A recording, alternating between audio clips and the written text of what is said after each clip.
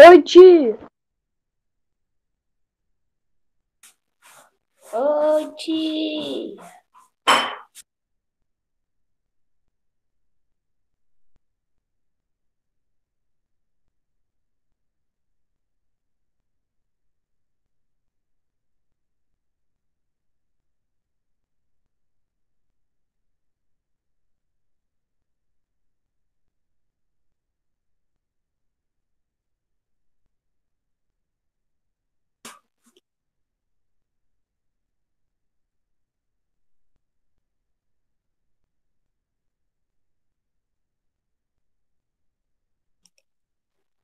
Tia, seu áudio tá fechado. Ó, Tô esperando o carro do som passar aqui.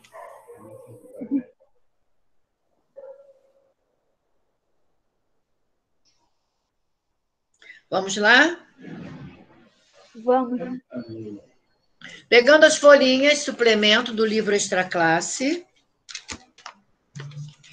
Vocês preencheram essa folhinha, o nome do aluno.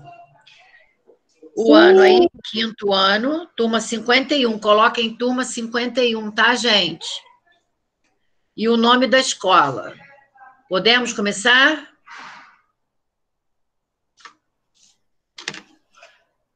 Ih, acho que ninguém voltou, só um ou dois. Começar. Quais os personagens principais de Viagem ao Centro da Terra? Axel, professor Lindenbrook. Seu professor Lindenbrock. Axel, E o professor E o professor Lindenbrook. professor Hans. Otto Lidenbrook. E o guia, E Hans? Hans. Que ele entra no... E o Hans. O Axel, o professor Lidenbrook e o Hans. Ok? Ô tia, como é que se escreve Rams? Deu branco agora. Você está com o livro aí próximo a você? Procure aí seu livro, está perto de você? Hã? Tá perto. Está perto de você? Vamos lá, corrida ao livro. Quem acha primeiro? Primeira página de encontro onde? Achei, tia. Tia, H, A, S. Quero a página. H. A página. 142. Oi? 142. Página 72. Vamos lá, todos na página 72. Não, tia, 140. Oh! 140. Eu não consigo falar junto com o aluno?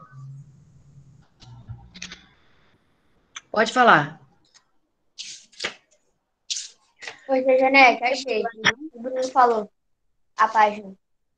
Ok. Logo na primeira linha do primeiro parágrafo da 142 tem o nome dele. Ok? Podemos continuar? Sim. Sim. E a nacionalidade? O Axel e o professor Lindenbrook são alemães. E, E o o- Ah, é islandês. podem falar que estou querendo ouvir, gente. E o professor Lindenbrook são alemães. E o Hans é islandês. Islandês. Todos concordam? Pode botar. Eu concordo.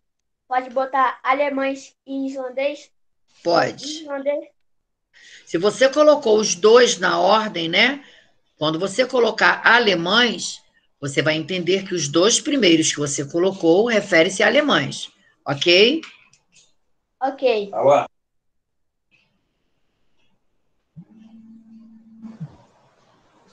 Podemos? Sim. Em uma mensagem secreta encontrada dentro de um livro manuscrito, o professor Lidenbrook e Axel descobriram que poderiam chegar ao centro da Terra. O autor do criptograma era. Sonora Tussen.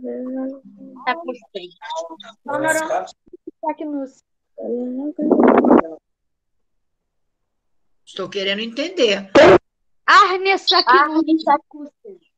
Axis. Saknus. Todos concordam? Sim. Todos concordam? Por acaso vocês lembram qual foi a página em que vocês encontraram? Oi. Quando eu li, não achei Arne Saxony, não. Qual você achou? Sonore Turlenson. Eu também encontrei Snorri Lur Turleson. Por isso eu queria saber a página. Alguém lembra? Ô tia, que eu me lembre, no capítulo que fica, é lá no pega, é lá no é pergaminho Autor do criptograma de viagem ao centro da Terra. Oi, meu filho, pode repetir? No capítulo, eu achei no capítulo onde está o pergaminho misterioso. Página 41. Página 40 e. Um. Vamos todos à página 41. Vamos lá. Todos à página 41. Aí fica no capítulo 2, Página 41.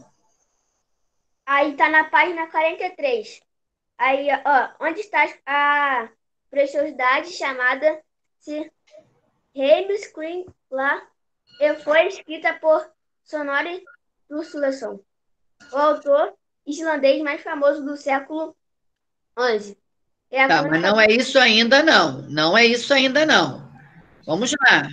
Tia também fala sobre ele na 70. Não- Só fala sobre ele, não, não fala sobre o livro. Gente, Aqui, tá 47, o segredo do página sacrifício. 47. Vamos corrida lá o livro.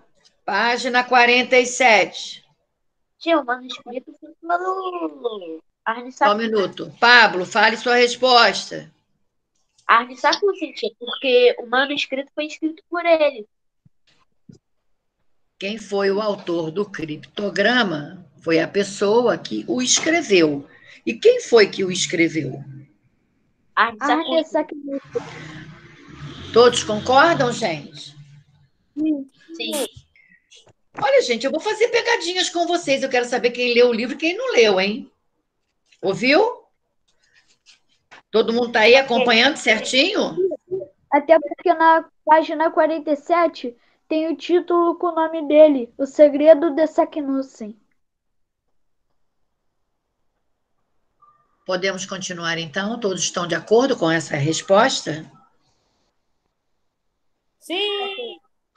Se um não estiver de acordo, vamos fazer a corrida ao livro, ok? E eu não escuto resposta nenhuma. Ok. Sim. Oi.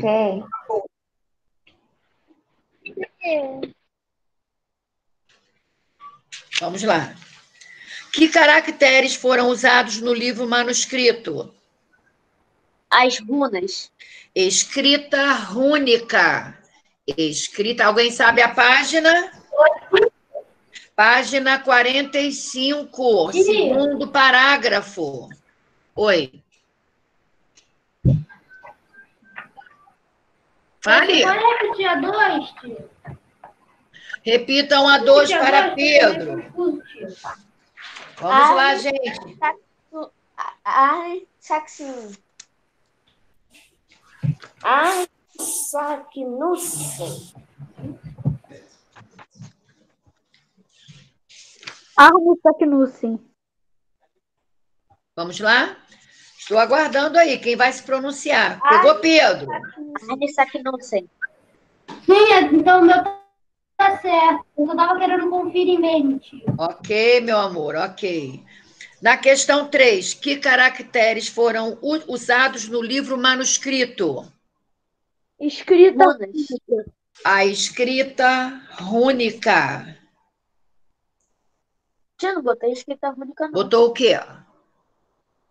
As runas. Não. Vá lá na página 47, segundo parágrafo. 45, tio. Ó, eu estou na 47. Pode ler da 45, Thierry. Ele Os se refere. Rúnicos me pareciam mais um, a- uma enganação dos sábios. É escrita rúnica no segundo lá, sem a menor sombra de dúvida. Esses sinais são idênticos ao do manuscrito de Snorri Sturluson. Mas qual será o significado dele?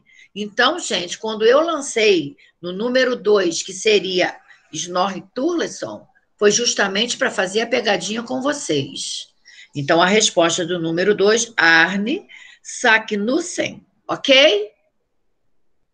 Estão acompanhando, gente? Sim. Então, no número 3, os caracteres foram do manuscrito foram escrita rúnica. Foi escrito à mão, tá, gente?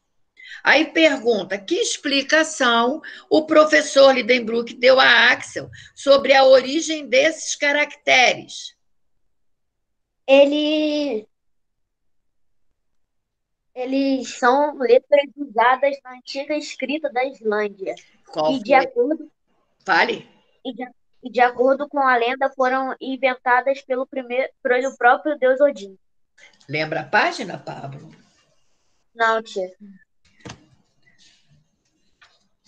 Olha, eu fiz um resumo, tá? Mas a sua resposta não está errada. Eu fiz um resumo que realmente não era um, um criptograma, né? era um documento com linguagem cifrada. Mas a sua resposta está correta, ouviu? Tá. Deixa eu ver se eu consigo encontrar aqui a página.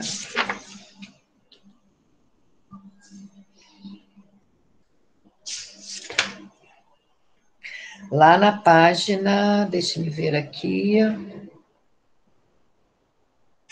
É, eu estava na página 44 e na 45, isso mesmo. Página 48. Página 48. Uma hora diz. Todos botem na página 48. Claro que isso é um criptograma. Há uma mensagem secreta por trás dessas letras que foram embaralhadas de propósito para atrapalhar a vida dos bisbilhoteiros. Gente, tem uma passagem aí no livro onde nós conseguimos também. Ontem eu até estava pensando em escrever uma mensagem do mesmo jeito que eles relataram aqui. ó. Porque a maneira como foi escrita, gente, é uma maneira diferente, uma maneira curiosa também. Eu vou estar folheando o meu livro aqui, vou encontrar a página e vou mostrar para vocês. Eu fiquei até assim muito encantada, né? Porque eu busquei pesquisa sobre essa escrita e para nós é uma escrita diferente. Vocês concordam comigo? Sim. Mas deixa eu achar aqui a página enquanto nós vamos fazendo. Ah, achei. Coloquem lá na página 53.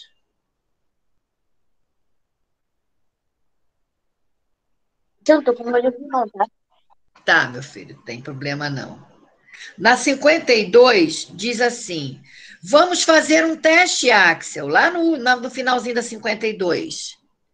Pegue um papel e escreva uma frase qualquer, mas em vez de colocar as letras uma após a outra, como nós estamos acostumados né, na nossa escrita, o que, que ele pediu? Coloque-as em colunas verticais. Imediatamente fiz o que ele me pediu. Viram lá na página 53 como ele colocou? Então, ele, ele colocou de maneira vertical a leitura. Vocês tentaram ler? Nessa Eu te amo muito, minha doce grau. Tá escrito. Se vocês, ó, observem aqui, gente, prestem bastante atenção. Observem que ele fez a escrita vertical. Ele não escreveu horizontalmente. Então, leiam na, na forma vertical para ver. Leiam aí. Eu te amo muito, minha doce Minha, minha linda, minha Linda? doce Gurben. É linda? Não. É, É minha doce. é. Perceberam? Vocês já imaginaram se a nossa escrita fosse assim? Ah, seria muito estranho. Doido do celular. Para nós ficaria como se fosse muito estranho, né, gente? Fica Oi. pra mim, na mesma hora seria muito legal, na mesma hora seria muito estranho. É, até nos acostumarmos, né, gente? Podemos passar para quatro, então? Podemos. Sim. Durante a subida pela encosta do vulcão Snelfs, Hans tomou uma precaução para garantir que se lembraria do caminho de volta. Escreva que precaução foi essa e por que se tornou inútil. Fale, Silva. Eu botei granito e as duas. Calma aí. Não, tá errado. Eu- botei na outra página. Mais alguém fez? Eu, Eu fiz. Mas Pode falar, Pablo. A precaução foi de pegar alguns cascalhos e colocá-los em determinado lugar para a volta eles saberem o caminho. Tá. E por que que foi inútil?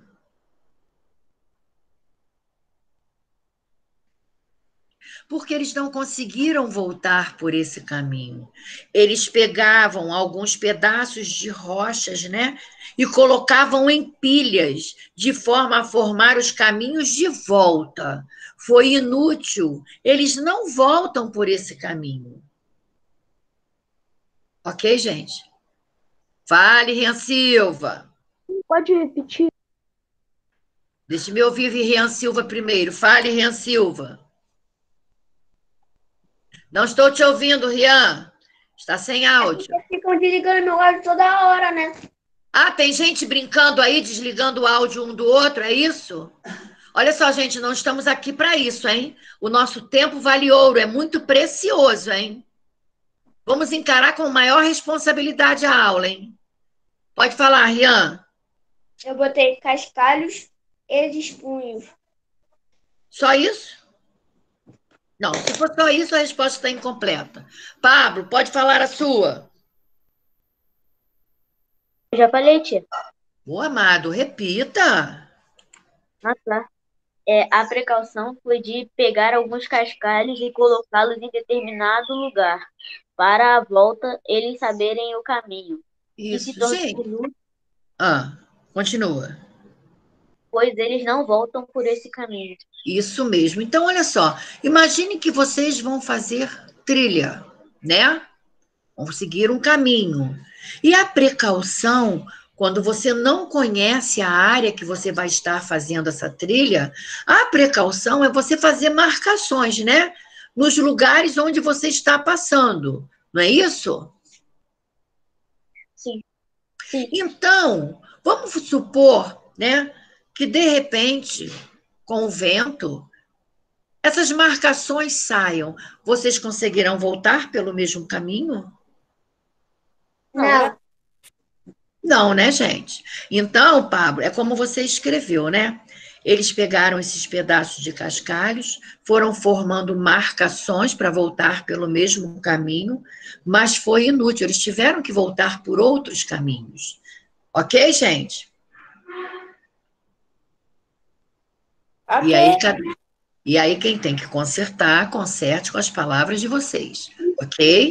Vai. Eles pegavam alguns pedaços de cascalho e botavam em determinado lugar para saber onde voltar, por onde voltar, mas se tornou inútil, pois eles não voltaram por esse mesmo caminho. A mesma coisa que eu falei, que o Pablo falou, ok? Estão todos acompanhando, gente? Questão 5. Em que país os personagens encontraram o túnel que poderia levá-los ao centro da Terra? Islândia.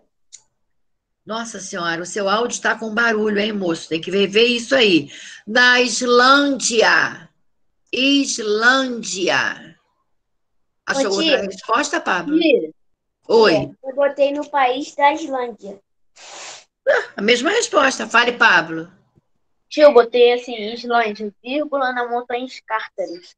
Ok, você comprou uma, colocou uma resposta mais completa. Podemos ir para seis? Eu espero que todos estejam acompanhando. Eu só vou fazer essa revisão da folhinha suplemento hoje. Vamos lá.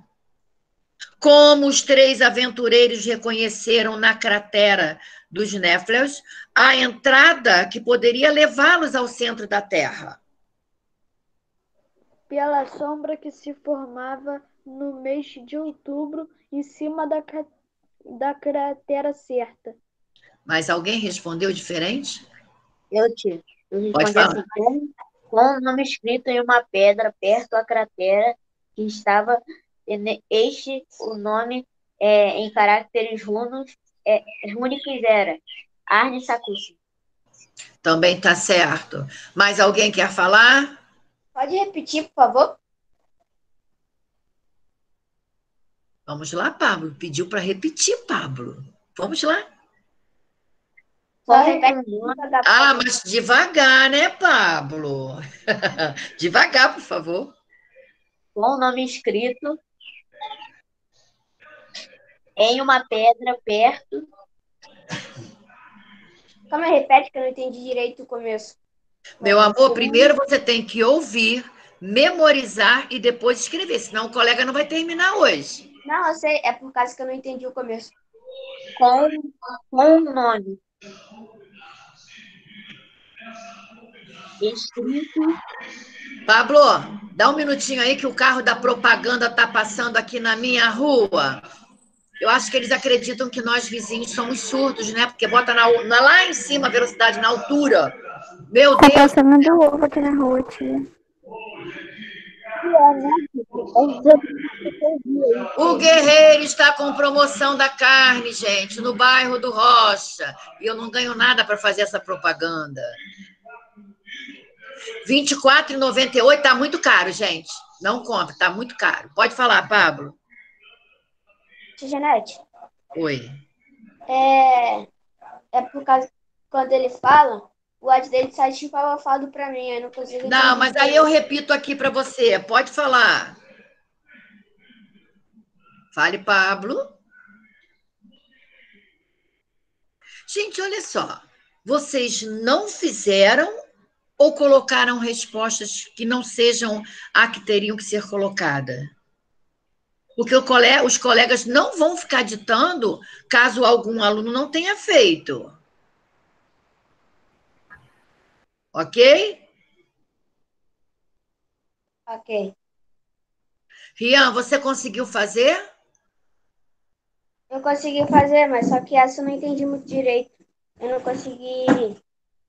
É. Tia, posso falar? Pode.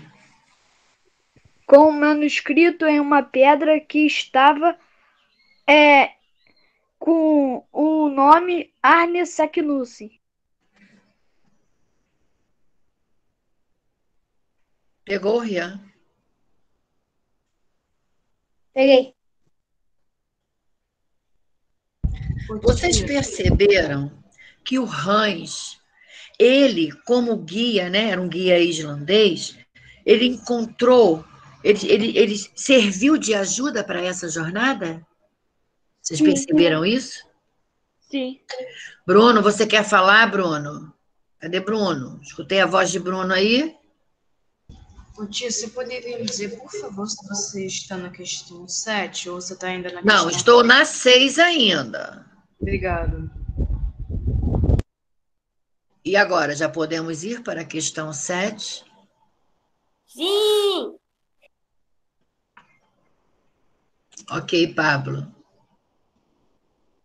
Pablo colocou no chat, com o nome escrito em uma pedra, como Thierry também falou, né?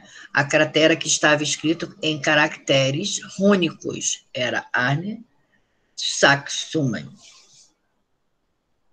Podemos ir para a questão 7? Podemos. Quando encontraram a passagem que os levaria ao centro da Terra, prepararam-se para adentrá-la. Assine com V para verdadeiro e com F para falso. Uma enorme porta esculpida na pedra ornamentava a entrada da passagem. V ou F? F. F. Muito bem. Quem colocou F acertou. A passagem era um buraco cujo fundo não era possível enxergar. V. Verdadeiro, muito bem. Depois da entrada da passagem, havia um salão repleto.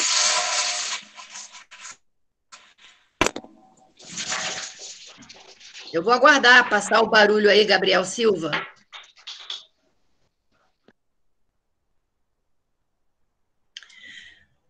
A passagem. Depois da entrada da passagem, havia um salão repleto de esqueletos. F. F. Quem colocou F acertou. A passagem era estreita, mas dava lugar a um corredor grande e iluminado. F. F. F. Então ficou F, V, F, F. Ok? Tudo bem até aí, gente? Sim. Vamos para a questão 8. Qual foi o primeiro problema, o primeiro problema grave enfrentado pelos personagens durante a descida rumo ao centro da Terra? Posso falar? Falta de água. Pode falar, pode falar. Quem souber, pode falar. Falta de água e a sede. Fale, Pablo. Pablo também quer falar. Eles ficaram sem água até achar as fontes subterrâneas. Isso mesmo. A falta de água, né, gente? Porque essa falta de água provocou sede neles, né? Vamos para a questão 9. Essa questão 9 tem ligação com a questão 8, tá? O professor Lidenbrook mostrou grande afeição por Axel, um gesto ocorrido quando eles enfrentavam o primeiro problema sério, que foi a falta de água, né? Na viagem. Que gesto foi esse? Vamos explicar. Posso terminar a leitura? Sim. Que gesto foi esse, tá? Que gesto foi esse? E explicar por que o gesto do professor demonstrou seu amor pelo sobrinho. Ele deu o último gole de água para o Um de cada vez. Ele, ele deu o último gole de água para o sobrinho. Quem mais quer falar? Um de cada vez. Posso completar aqui né, a resposta dele? Pode, meu amor, pode. Eu botei a mesma coisa que ele. Porque ele salvou a vida de Axel. Posso Ok. Pode, pode. Vamos lá, quero ouvir. Eu botei dar o último gole de água. Aí eu botei ponto, porque ele sabia que eu podia perder o sobrinho. Isso, mais alguém quer falar? Gente, a falta de água, né? Com a falta de água, o professor resistiu à vontade de beber a água a fim de garantir a água para o sobrinho. E por errar o caminho, a água teve que ser racionada. Axel sentiu muita sede, quase enlouqueceu e o professor lhe deu toda a água do cantil. Ok? Ah, vocês não precisam colocar isso tudo, vocês já colocaram a, a resposta resumida. Podemos continuar? É só mesmo para que vocês entendam que, devido a essa- esse grande problema, né, o primeiro problema, que foi a falta de água, como é que ele poderia ver o sobrinho quase enlouquecendo de sede e ele não deixar a água para o próprio sobrinho, né? Então, esse foi o gesto que demonstrou amor, o carinho pelo sobrinho. Ok, gente? Podemos continuar? Ih, fiquei sozinha. Sim. Podemos. Quem finalmente resolveu o problema da falta de água e de que modo? Hans, ele encontrou um riacho. Alguém mais quer falar? Encontrou Eu. uma fonte de água. Quem quiser falar, pode falar um de cada vez. Hans, explorando a galeria abaixo, achou um fluxo de água em uma pedra. Isso mesmo. E essa água veio muito quente, não foi, gente? Simão dele. Não é? Então, ó, foi Hans, né? O Hans se afastou do restante do grupo, tentando achar água no local que estavam e acabou encontrando a água. Só que esse primeiro jato de água, né? Ele quebrou, foi tentando quebrar rochas, né? E quando veio esse primeiro jato, né, com a picareta, quando ele tentou e conseguiu quebrar, veio aquele jato quente. Pode falar, Rian Silva. Poxa, como eu, eu achei muito engraçado quando eu li. Poxa, engraçado. De- Como dentro de um vulcão tem água. Vamos continuar então.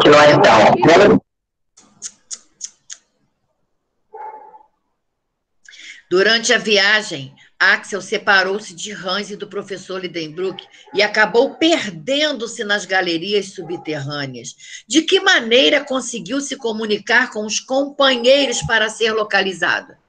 Através da Gente, eu falei um cada vez. Eu vou ouvir.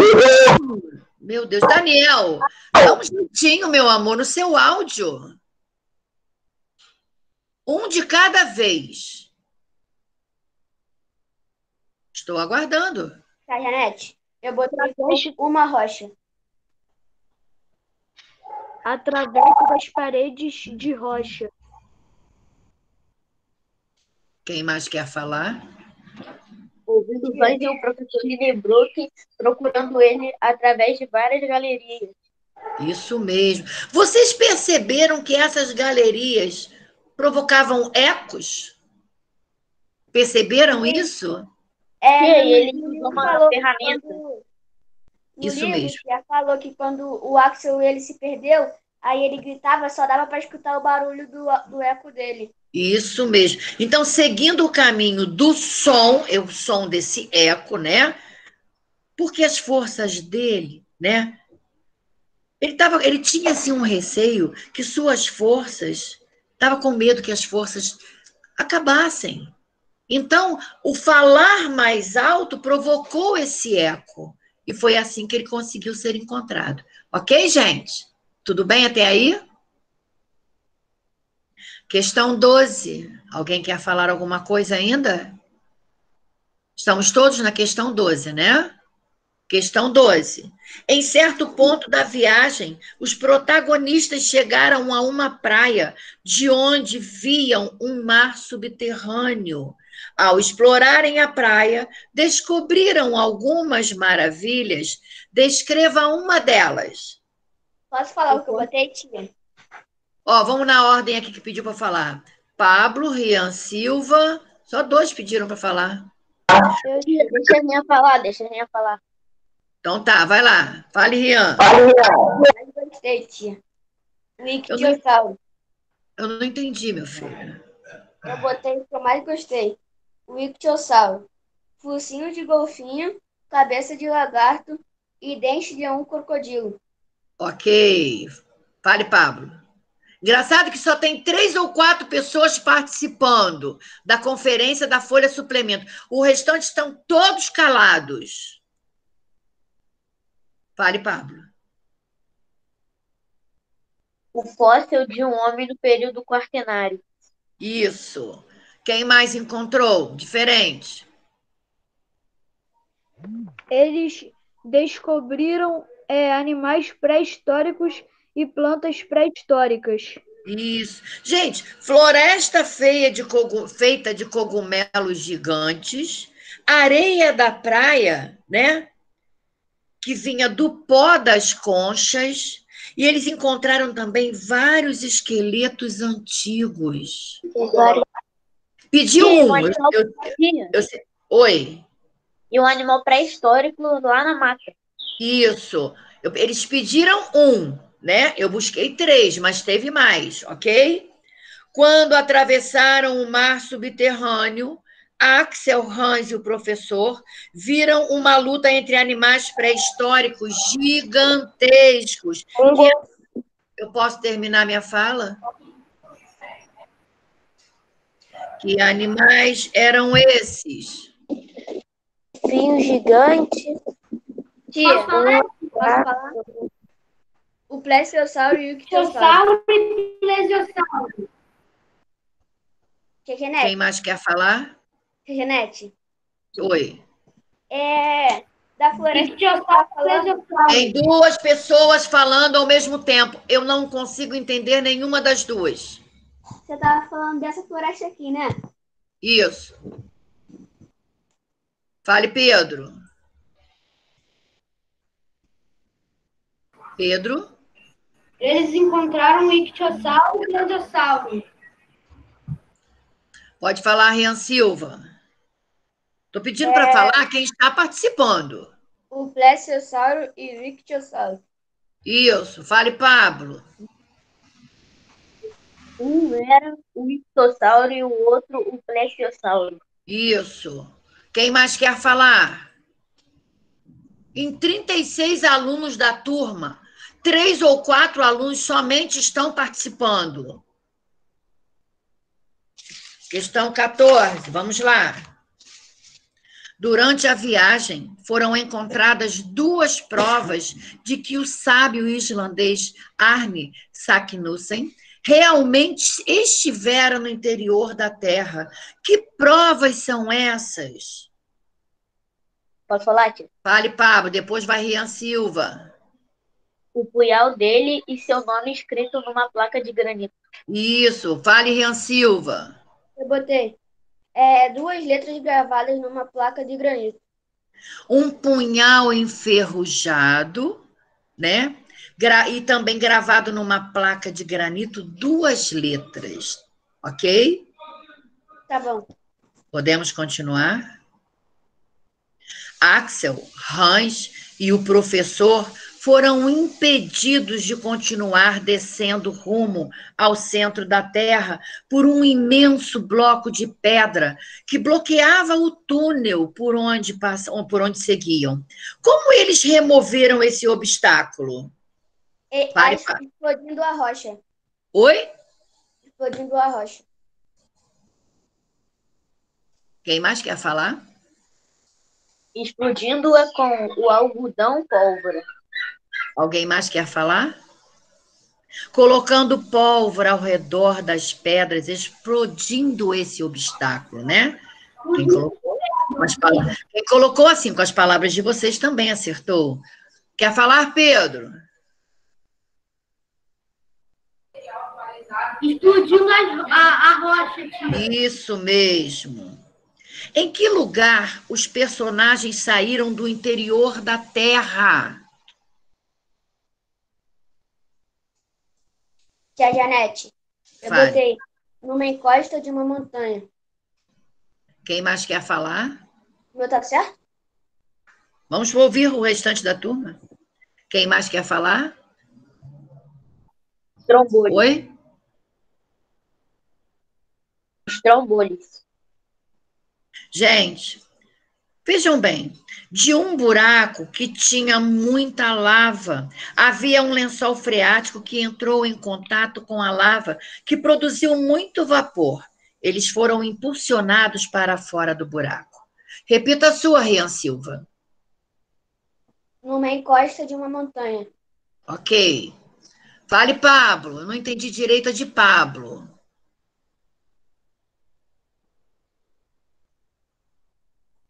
Tia, tá Tô, meu amor, pode falar.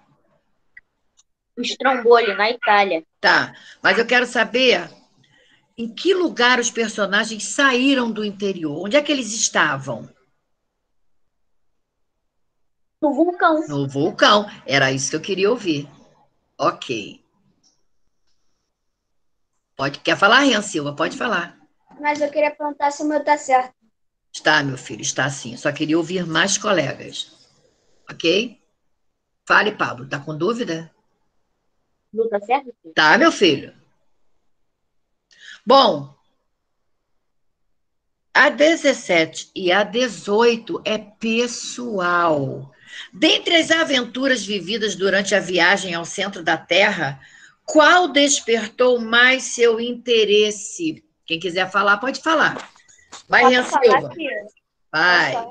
Pode. Eu Depois o Pablo vai falar. Duelo de Titãs. Eu gostei porque teve muitos fenômenos e a briga de dois terríveis monstros e o plesiosauro e o ichthyosauro. Isso deixa, deixou a história mais emocionante. Ok. Você chegou a imaginar esses dois animais monstruosos? Chegou? Você conseguiu imaginar na sua mente? Aham. Pode falar, Pablo. Também tinha imagem, tia. Oi? Eu não, eu sei que tinha imagem, mas na hora que você foi é, colocar aí, né? O que que te despertou mais interesse? O que que chamou mais a sua atenção, Pablo? O duelo entre os dois titãs. O duelo entre os dois, isso mesmo, né? Fica uma coisa assim que a gente de repente para e imagina como será que foi. Fale, Pedro.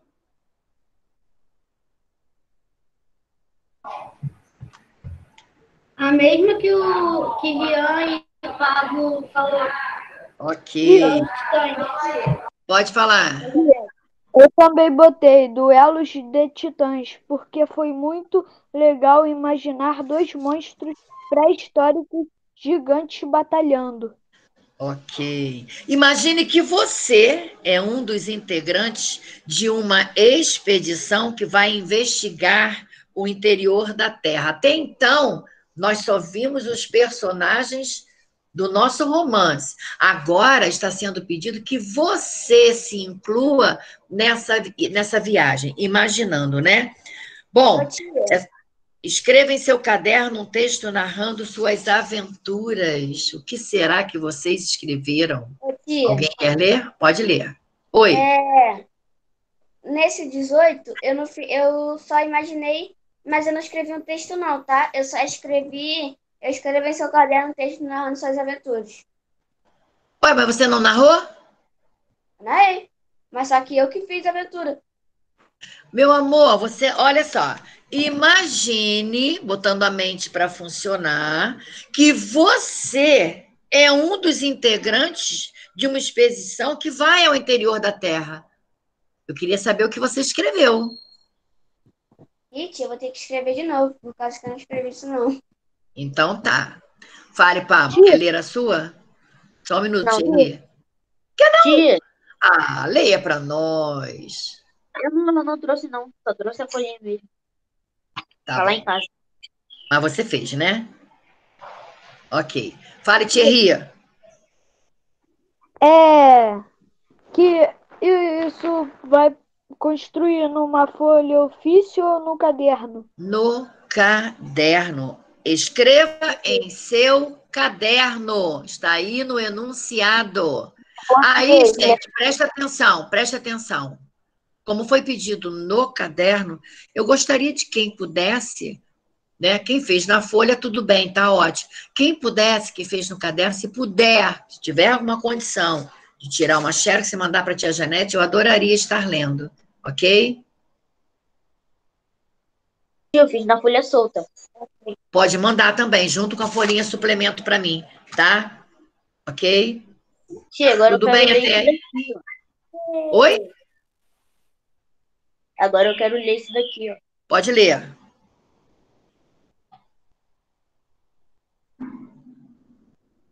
O trabalhinho feito da página.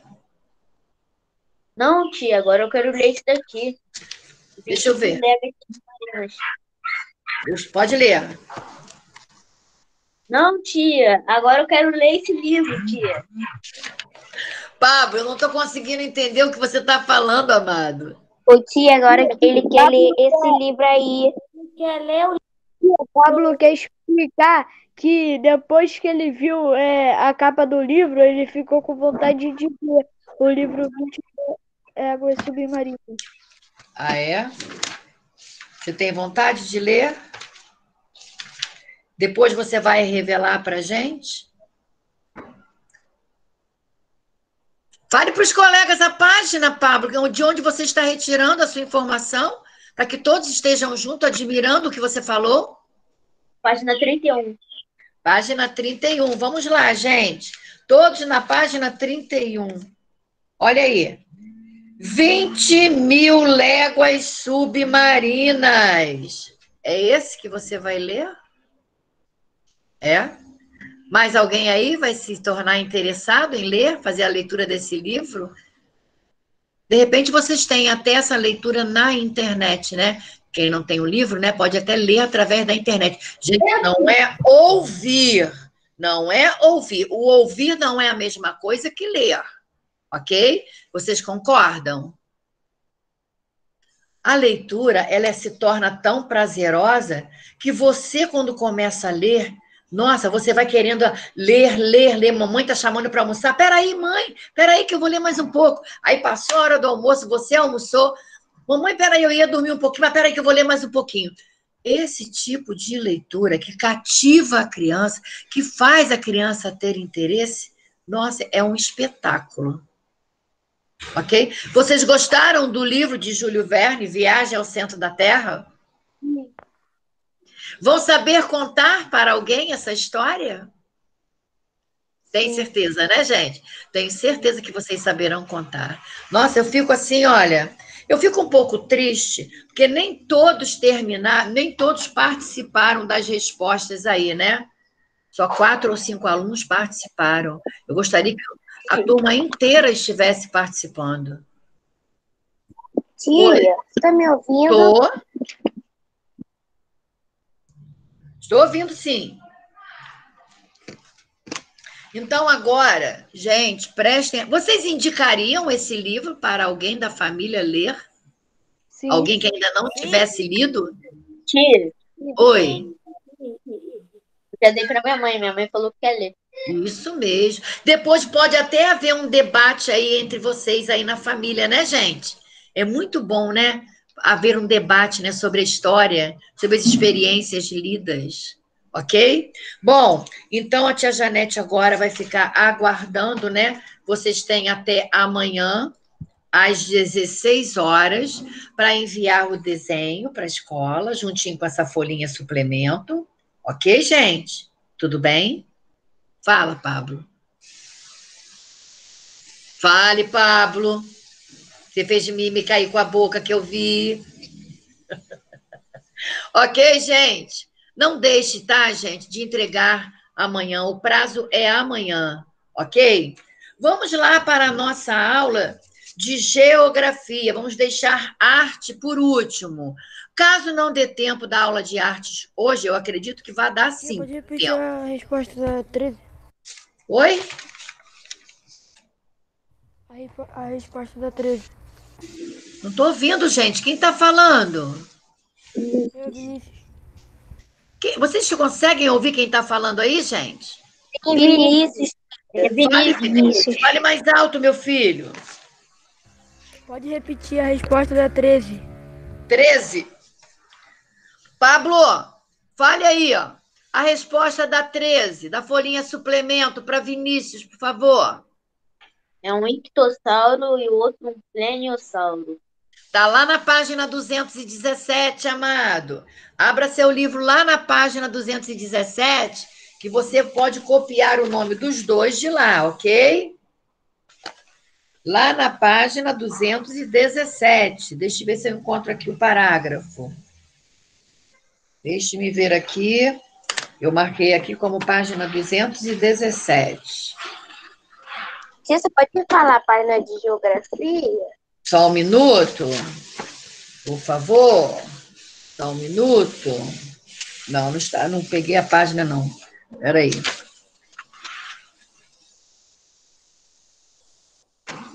Deixa eu ver se eu dei a página certa. Não, não é na 217, não. Não é essa anotação, não. Deixa eu ver aqui. Enquanto isso, abram na última página feita de geografia. Tia. Oi? O capítulo Duelo de Titãs. Isso. 191, tia. Centro. Muito obrigado, gente. Olha a parceria aí, ó. 191. Muito bom. Colega, abre lá na 191, por favor. 191.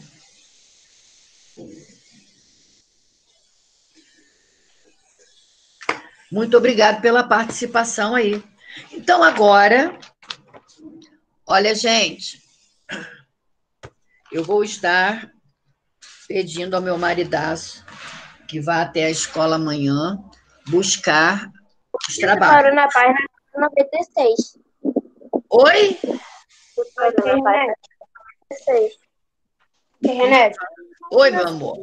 a página de geografia que a gente, a última página que a gente fez de geografia foi 307. Vocês abrirão agora na 308, tá? Dúvidas, Pablo? Não? Página 308, vamos lá? Página 308. Não esqueçam que os boletins, a partir de hoje, já estão à disposição dos responsáveis de vocês na escola. E se vocês vão lá até amanhã às quatro horas para entregar os trabalhinhos, tá? Então, por favor, não esqueçam de retirar na secretaria o boletim. Tudo bem? Vamos lá, página 308. Já falamos até agora sobre a região norte. Agora vamos falar sobre a região nordeste, ok? Marcadores de textos nas mãos. Quem não estiver com marcador próximo, pode pegar aí o lápis, um lápis de cor, ok? Região Nordeste, eu gostaria que todos estivessem acompanhando a leitura. A região Nordeste ocupa uma área de aproximadamente um milhão e meio de quilômetros quadrados. Veja no mapa ao lado. 308. Veja no mapa ao lado quais são os nove estados que fazem parte dessa região brasileira. Eu me lembro muito bem que nós fizemos uma comparação entre a região norte e a nordeste, onde a região norte tem mais extensão do que a nordeste e tem menos estados, né, do que a nordeste. Apesar da extensão em quilômetros da região norte, nordeste ser menor que a região norte, né? A região nordeste possui nove estados, enquanto a região norte possui sete. Ok até aí? Tudo bem? Ok. Olhem esse mapa aí ao lado. Quais estados formam a região nordeste do país? Quem pode dizer? Quero um aluno para falar. Vamos lá. Tia, vocês estão em que página? Só um minuto, gente. Estamos na 308. Fale. Quem estava falando? Pode falar. Os estados que fazem. Bora, gente! Bora, gente! Não quero desânimo na nossa aula, não. Quem sabe os estados pode falar. Paraíba. A colega falou um. Paraíba. Quem fala outro? Maranhão. Amazônia. Maranhão. Eu entendi a Amazônia. Daniel, meu Deus. Daniel, assim eu não vou conseguir dar aula. O seu áudio está com problema, Daniel. Eu ouvi alguém falar Amazônia. Amazônia é estado desde quando? É qual região? Nordeste. Alguém gostaria de falar os estados? Eu. Vale, Letícia. Paraíba, Ceará, Pernambuco, Alagoas, Sergipe,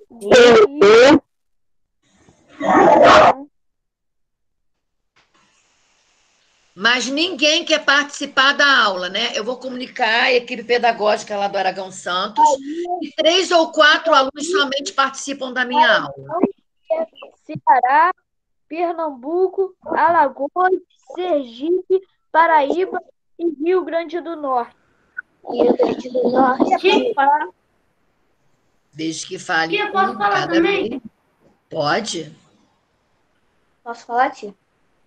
Desde Maranhão, que Piauí, Ceará, Rio Grande do, do Norte, Paraíba, Pernam- Pernambuco, Alagoas, Sergipe e Bahia. Ok, quem mais quer falar? Eu. Fale. Bahia, Piauí, Posso falar? Ué, não entendi. Rian Silva começou e parou? Não, porque Daniel. Não, foi Daniel vai aguardar a minha vez dele. É você quem está falando. Pode. Agora falar? Maranhão, Piauí, Bahia, Sergipe, Alagoas, é, Rio Grande do Norte, Paraíba, Ceará e Pernambuco. Alguém mais quer falar? Pode falar. Bahia, Piauí, Maranhão, Ceará, Rio Grande do Norte, Paraíba, Pernambuco, Alagoas e Sergipe. Beleza. Alguém mais quer falar? Bom, gente, as sub-regiões do Nordeste. As paisagens nordestinas apresentam grandes con- contrastes, resultado da diversidade natural, da ocupação da população e das atividades econômicas. Por isso, o Nordeste apresenta as seguintes sub-regiões. Pablo, leia a primeira. Zona da Mata. Estende-se pela faixa litorânea leste, de cima mais úmido e abriga a maior parte das capitais nordestinas. Ok. Letícia, leia a segunda. Agreste, faixa de transição entre a zona da mata mais úmida e a Úmida. dessa forma características dessas duas sub-regiões. Micaela, está na sala? Pedro, leia a terceira. Pedro?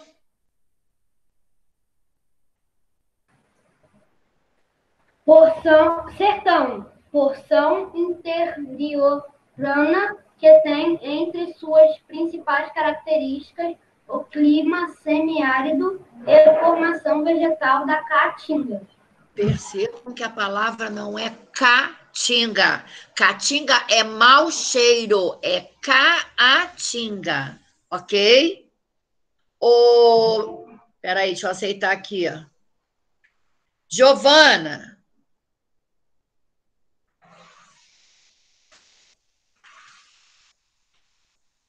Laura, você pode ler a quatro para nós, por favor? Ai, tia. Bruno, você pode ler a quatro para nós, por favor? Sim, tio, eu consigo ler a quatro que você pediu. Posso começar a ler, tio? Pode. Meio Norte. A faixa de transição entre o sertão e a floresta amazônica na região Ah, ah, norte. ah, ah, volta lá, volta lá. Faixa de transição entre o sertão e a formação da floresta amazônica na região norte. Ok, obrigado a vocês que participaram da leitura. Passem um marcador de texto em cada uma delas. Vamos lá. Em cada uma delas.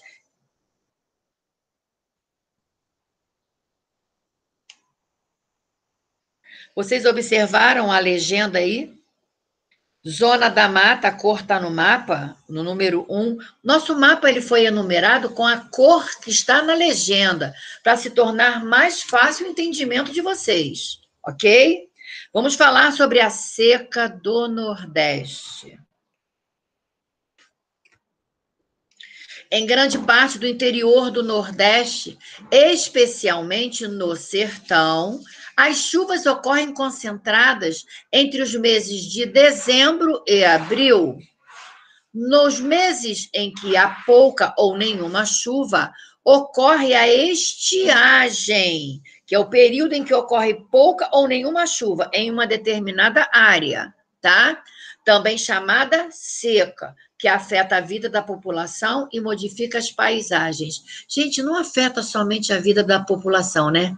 Os animais também, porque os animais com sede não têm o pasto, por conta da seca, não têm o que comer, não têm o que beber e acabam morrendo, ok? Podem passar um marcador de texto neste primeiro parágrafo. Nos períodos de seca prolongada, ocorre a perda das lavouras e dos animais, como eu acabei de explicar. Por esse motivo, muitas pessoas que vivem no sertão migram principalmente para as cidades grandes do litoral. Escutaram aí? Isso aí é uma moto, gente? É? Será que isso aí se chama moto? Pelo amor de Deus. Nossa Senhora. Nossa Senhora. É a prefeitura jogando remédiozinho no ar, né? Nos períodos de seca prolongada, ocorre a perda das lavouras e dos animais. Por esse motivo, muitas pessoas que vivem no sertão migram principalmente para as cidades grandes do litoral nordestino. Nessas cidades maiores, né, elas são cidades maiores, há mais oportunidades de trabalho e renda para as famílias. Muitos nordestinos também migram para outras partes do país. Vocês lembram que quando nós falamos sobre garimpagem, falamos também das pessoas do Nordeste que deixavam o Nordeste para vir participar do garimpo? Lembram disso? Sim. Ih, ninguém lembra? Sim. Sim, eu quero ouvir sua voz. Você está fazendo mímica. Não pode. Ouvir. Gente, eu não consigo entender. Eu quero que você abra o seu som. Eu quero que você mostre a sua voz. Ele fala assim. Ai, gente, peraí.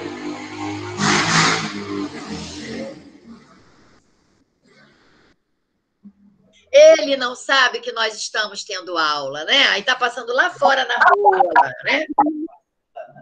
Bom, gente, entre as medidas tomadas para combater os efeitos da seca no sertão está a construção de açudes, ok?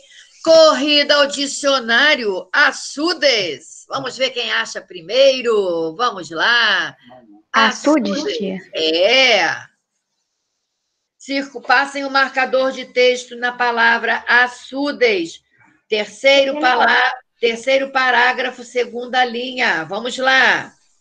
Não é. quero do livro, quero do dicionário. Fale. Posso ler o quarto parágrafo? Calma, meu filho, que hoje nós temos três aulas. Vamos, gente, procurando, gente. Vamos lá, gente.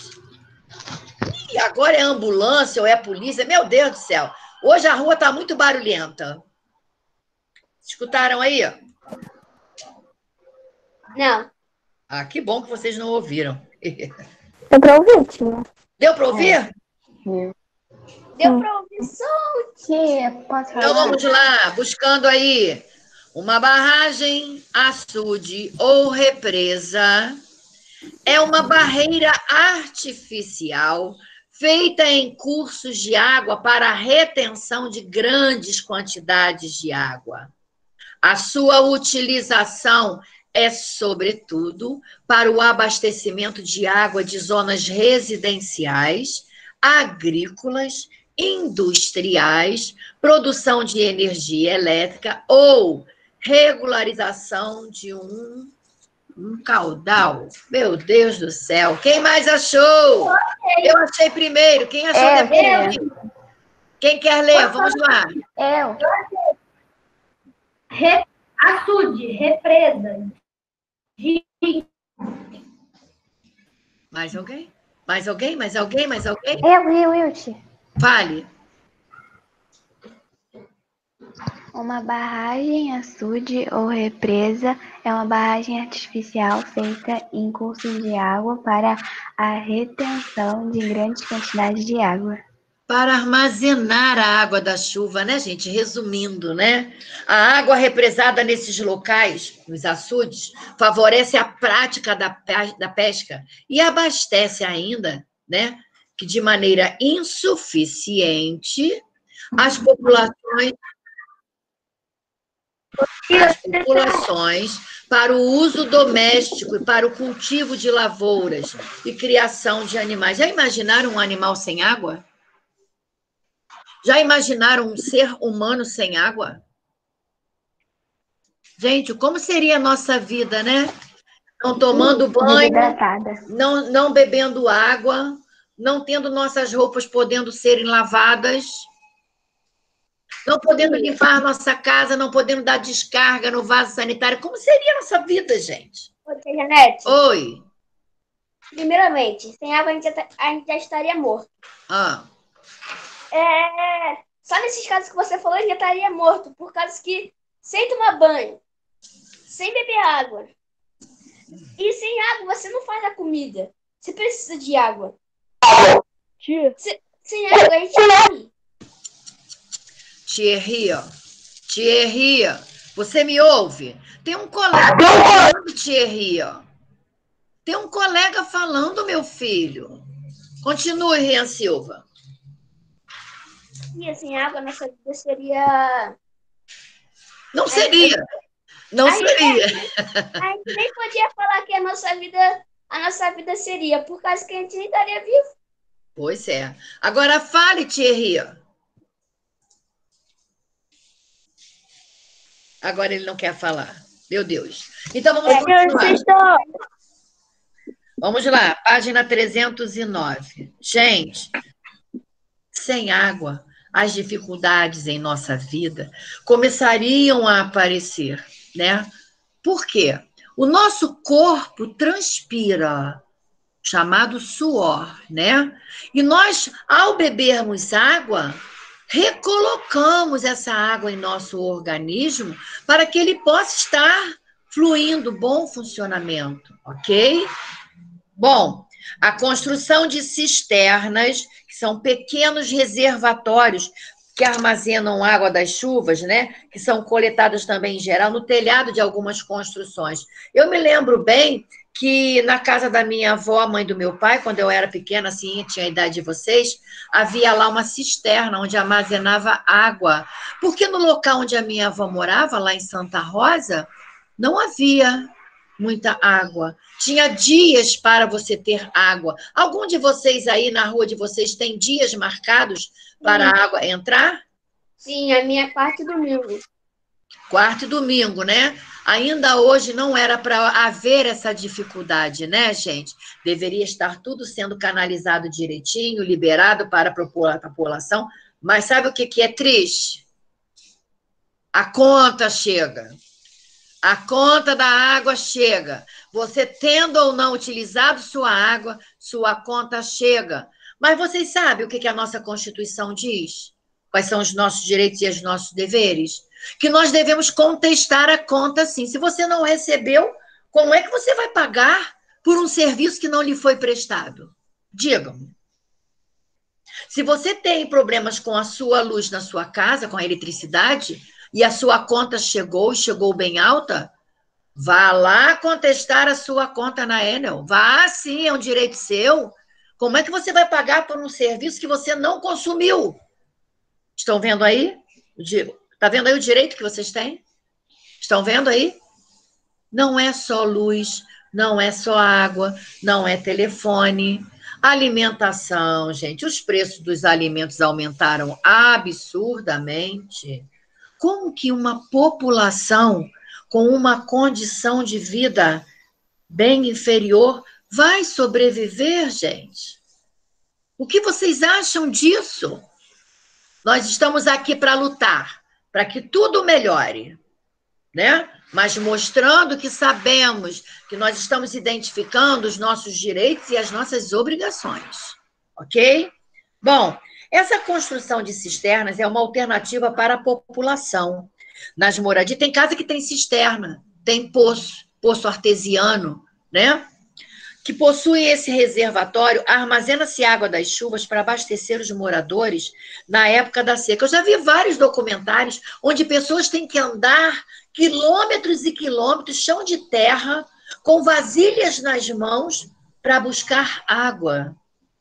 É muito triste, né, gente, o nosso país viver uma situação dessa. No entanto, nem todas as pessoas contam com cisternas em seus quintais. Bom, observem aí, gente, nessa imagem. A criação de gado bebendo água no açude, de Poções, em Monteiro, Paraíba. Vegetação no interior do sertão totalmente seca, durante o período da seca prolongada. Coitado desses animais. Né? O, que o que dizer? A gente só tem mesmo que acreditar que tudo isso vai melhorar. Devemos acreditar sim, ok? Página 310. Ao lado de atividades, em aula. 29, 10, 20. Vamos lá? Observe o mapa das sub-regiões do Nordeste na página 308 e complete o quadro a seguir. Quero todos com atenção, todos. Tem uma coluna aí com estados e a outra coluna ao lado, sub-regiões de que faz parte. Tem aí um exemplo de como nós devemos fazer. Lá na página 308 tem o mapa, tá? Com a legenda, tudo direitinho. Bahia, se você olhar lá, meio norte, sertão, agreste e zona da mata. Até aí tudo bem? Eu quero saber quem vai me dizer agora Sergipe. Ô tia, Sergipe Oi. é Zona da Mata, Agreste e um pedacinho do sertão. Ok, muito bem analisado. Zona da Mata, Agreste e Sertão.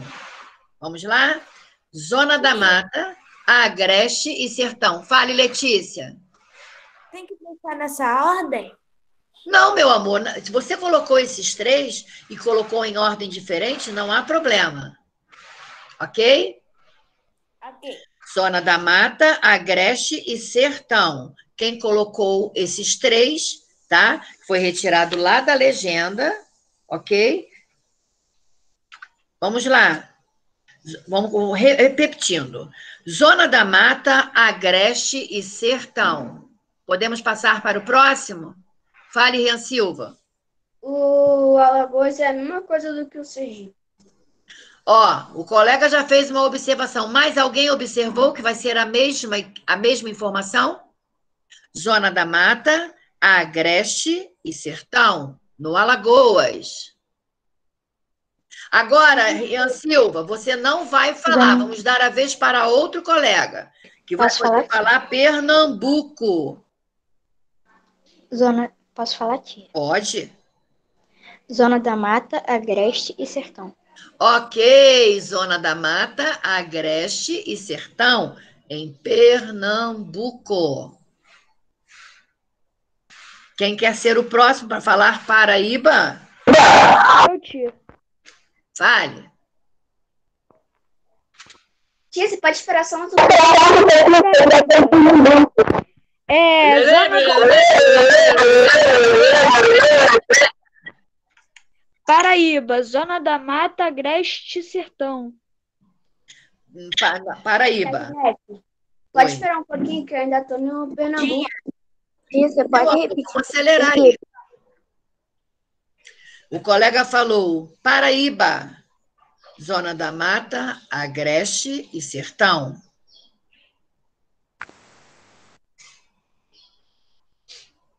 Pablo, nos deu o prazer da sua voz. Vamos lá, Ceará. Vamos? Tia, você pulou Rio Grande do Norte. Oi? Você pulou Não, eu Rio quero Grande ouvir Pablo. Pablo, Rio Grande do Norte. Zona da Mata, Agreste e Sertão. A mesma coisa. Zona da Mata, Agreste e Sertão. Ok. Letícia. É, não faz assim não, é você mesmo. Ceará, Letícia. Ai, meu Deus. Sertão, Agreste e Zona da Mata. Não. Posso falar, tia? Pode, Júlio. Júlio pediu primeiro. Meio Norte e Sertão. Meio norte e sertão. Cuidado, hein? Meio norte são duas palavras ligadas por hífen. Meio, e com, todas com letra maiúscula, hein? Por favor, hein? Quem utilizou letra minúscula aí, por favor, conserte. Onde que eu boto. Eu posso falar Piauí? Bruno, continue falando. Onde que eu boto o meio norte? Onde você coloca? Nós estamos falando sobre Ceará, meio norte e sertão. Quem foi que pediu para falar o próximo? Foi Júlio? Daniel. Fale. Piauí. Meio norte e sertão. Igualzinho Ceará, meio norte falar e Maranhão? sertão. Pode, amado, pode falar Maranhão. Meio norte. Meio norte.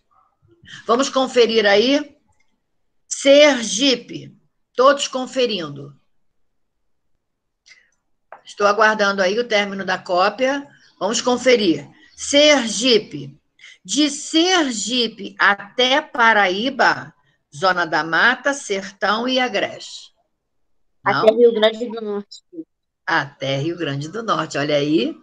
Olha aí. É essa atenção que eu quero na aula hoje. Tia Janete, Sergipe, Zona da Mata, Agreste e Sertão. Oi? Sergipe, você pediu para falar quais são? Não, meu amor. Olha só. Eu joguei uma, uma pegadinha.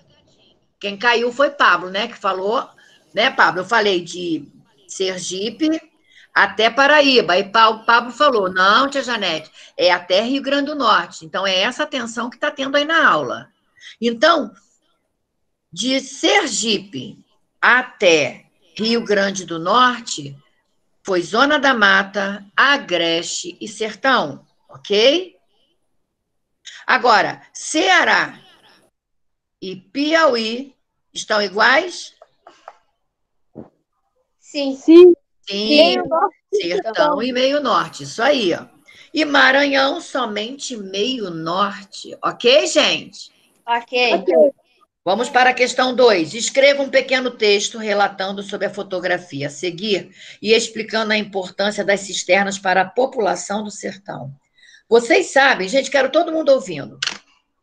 Ao olhar essa imagem aí, eu posso dizer a vocês, essas cisternas elas são utilizadas, como nós já lemos, né, na página anterior, para armazenar a água da chuva, né, para abastecer a população na época da seca.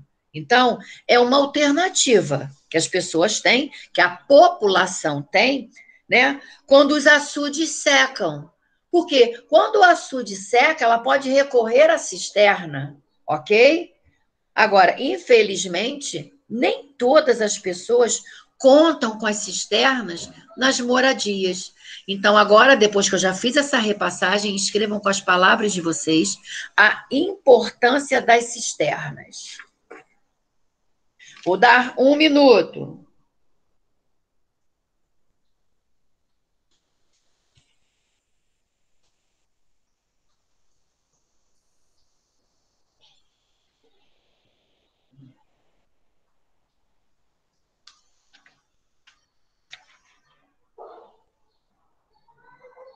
Quando eu puder continuar, me avisem.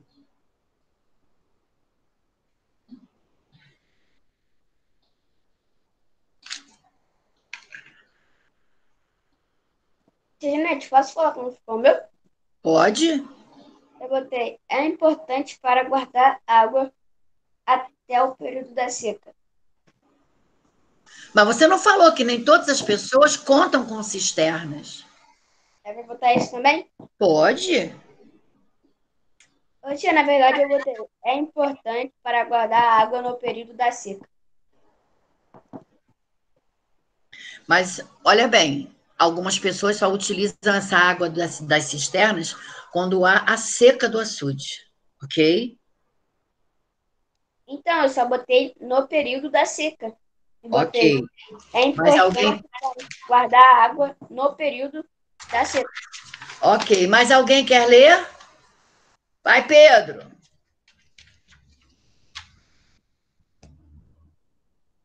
Quer falar, Pedro? Tia, não quero, quero te falar uma coisa, tio.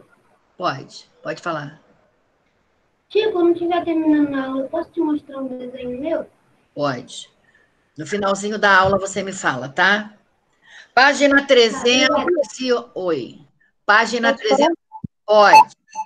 Elas têm a importância de guardar água para usar no período da seca, mas poucas pessoas possuem. Ok. Página 311. População. Vamos falar agora, olhar esse mapa aí, como é que é distribuída a população da região Nordeste. Janete, Oi. eu completei a minha. Fale. Ficou assim. É importante para guardar água no período da seca. Mas nem todas as pessoas do sertão têm uma cisterna.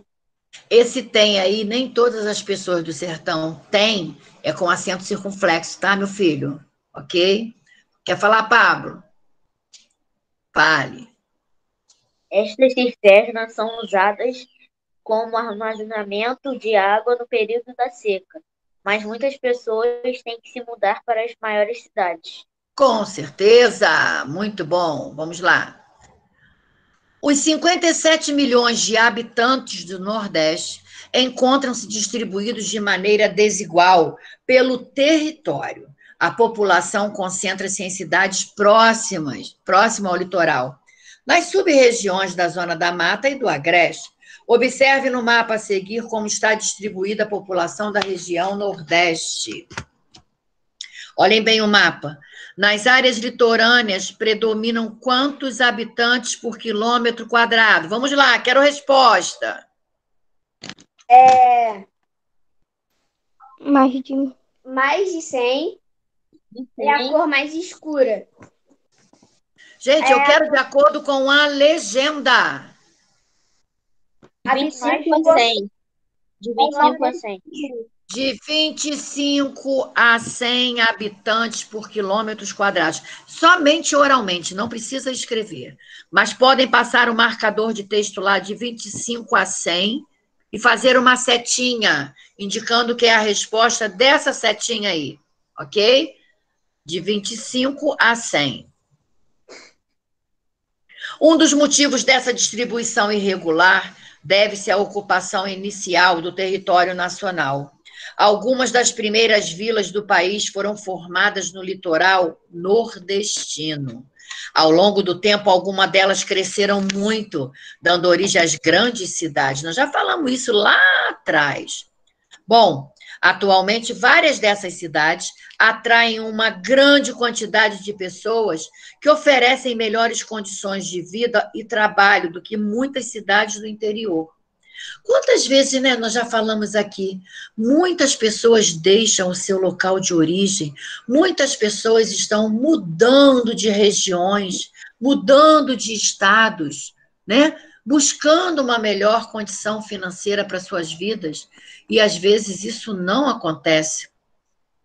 Bom, vamos ver aí então. Vamos observar essa imagem abaixo.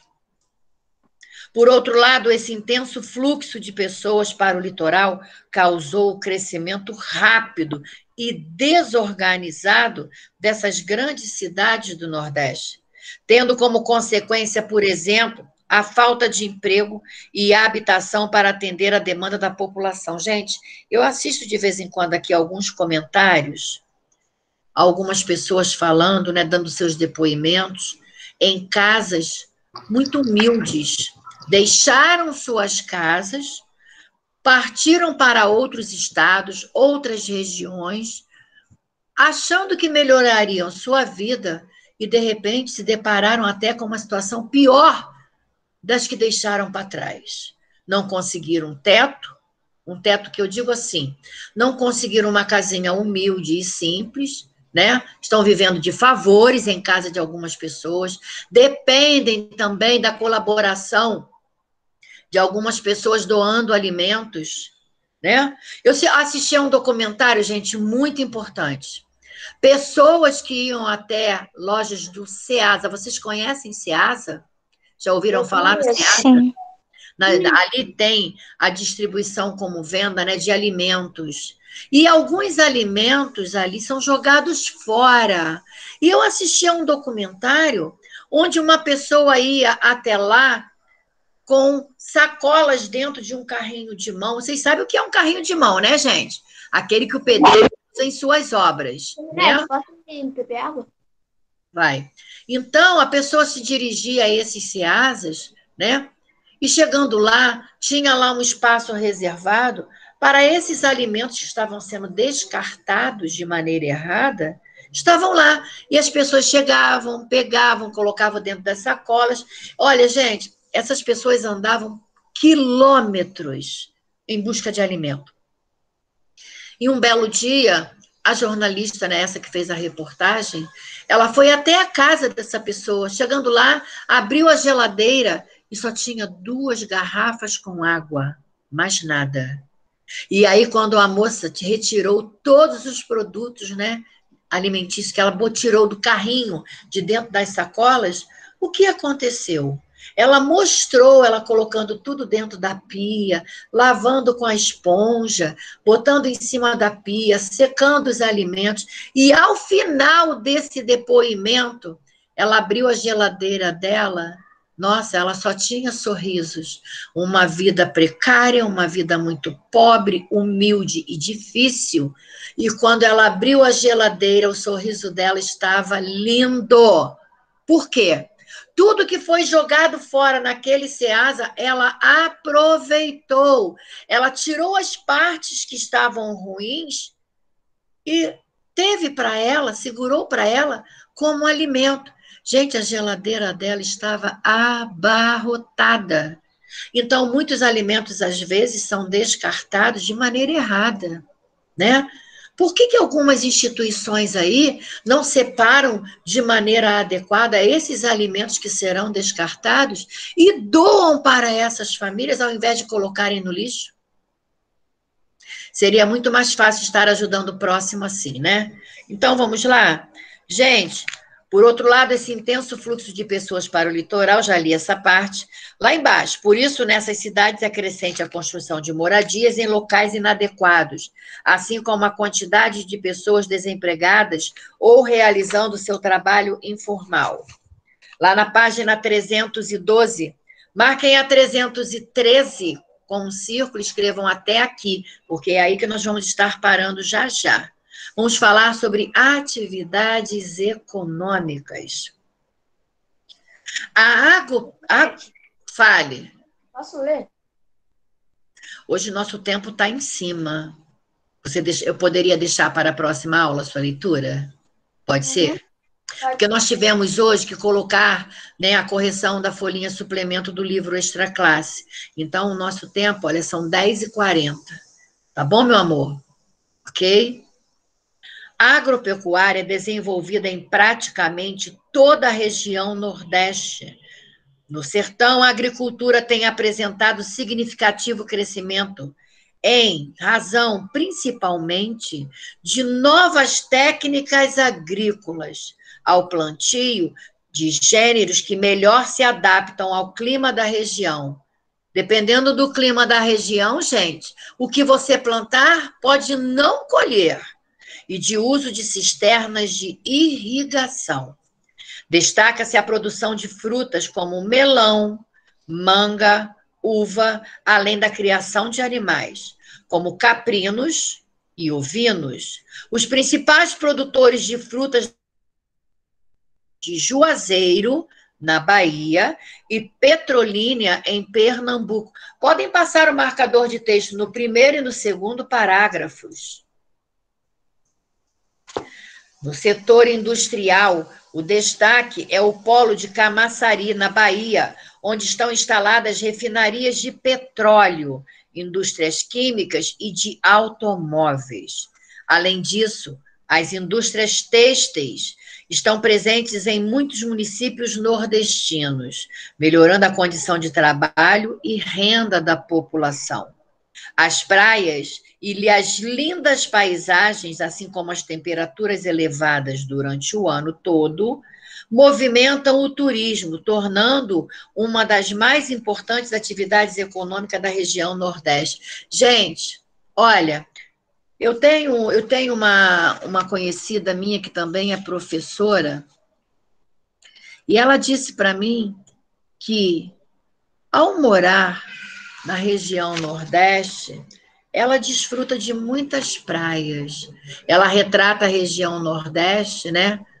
Não é totalmente seca. E ela diz: Olha, tão bom se você pudesse vir passar aqui há uns dias de férias comigo aqui, né, com a família dela, para conhecer.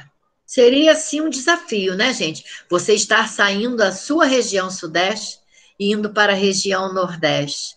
Quanta coisa, quanto conhecimento vocês iriam adquirir né? Vocês olharem, colocarem a mão naquela terra seca, né? Fazer assim com as mãos na terra seca, sentir a seca afetando o solo. Olhar o gado, gente, a pastagem que às vezes tem e algumas vezes não tem. Então, são informações assim de uma riqueza muito grande. OK? Olhem abaixo aí, sistema de irrigação que utiliza a água do Rio São Francisco, lá em azulzinho. Ao fundo, em cultivo em Petrolina, Pernambuco. Mais abaixo, gente, que imagem linda! Vocês gostariam de estar aí, gente, tomando esse banho maravilhoso? Quem gostaria, gente? Quem gostaria? Gente, que maravilha. Já me imaginei ali, gente. Já, ó, eu sou uma dessas pessoas que está aí, tá? Me encontrem aí, procurem por Tia Janete aí. Eu estou sendo lugar... considerada turista ali, tá? Praia Esse lugar Forte. parece até o Caribe. Gente, que olha, nossa senhora, que coisa linda. Ao lado, na página 313, ao lado da palavra atividades. Tia Janete. Oi. A minha tia, a esposa do meu pai, ela já, ela, ela lá, ela já foi nessa praia. Ah. Ela fala que o nome é, é Genipabu. Ih, que chique, hein? Olha isso, hein? Passa essa informação de novo para nós aqui. É cultura. Vamos lá, vamos ouvir. Que a minha madrasta, ela. Lá tem parceiro hidrométrico. E ela falou que essa praia. Ela vai explicar melhor. Ok. Essa praia é conhecida como Praia de Genipabu, que fica no município de Extremóis. E ela tem uma duna muito alta, o maior, acho que é uma das maiores dunas do Rio Grande do Norte. Lá tem um passeio de bugre e tem dromedário, que você pode até andar e se sentir como se estivesse em outro país que e olha a riqueza de informação que nós estamos recebendo. E esse sotaque lindo! Gente, que maravilha! Agradeço a parceria aí da participação, amada. Muito okay. obrigado. Obrigado, boa. Obrigado. Então, gente, estão vendo aí depoimentos de quem já esteve, já morou. Agora ela mora aqui, né, Rian? Então, é. descreva o motivo histórico. Oi, fale. Ela é casada com meu pai. Eu vou para lá ano que vem. Ah, meu amor, tome um banho por tia Janete naquelas praias lindas, ok? Tome, depois me conte como é que foi.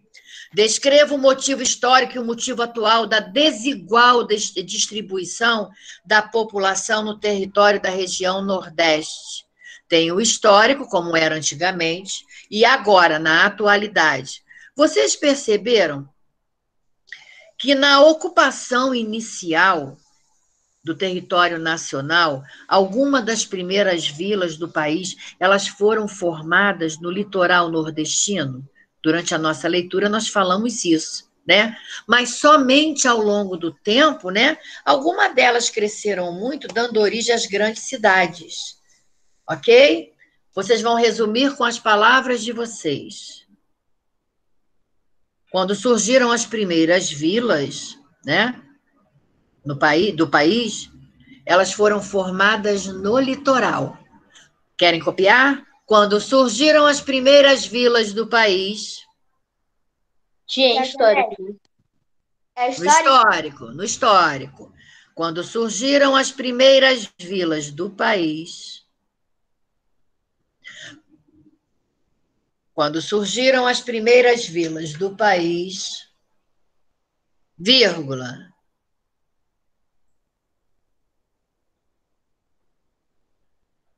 Quando tinha. Quando surgiram as primeiras vilas do país, vírgula, foram formadas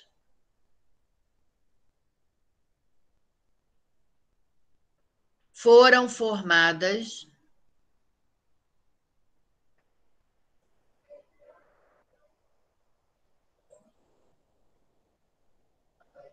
quando surgiram as primeiras vilas do país, foram formadas no litoral nordestino. Ponto. Ô tia, Oi? você está no histórico ou atual? Histórico. Obrigado. Quando surgiram as primeiras vilas do país, foram formadas no litoral nordestino. Ponto. Ao longo do tempo, deram origem às grandes cidades, ainda no histórico. Ao longo do tempo, deram origem às grandes cidades.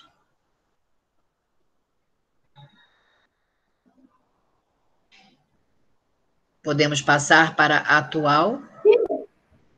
Tia, você pode repetir que a internet caiu. Quando surgiram as primeiras vilas do país, foram formadas no litoral. Ponto. Quando surgiram as primeiras vilas do país, foram formadas no litoral. Ponto.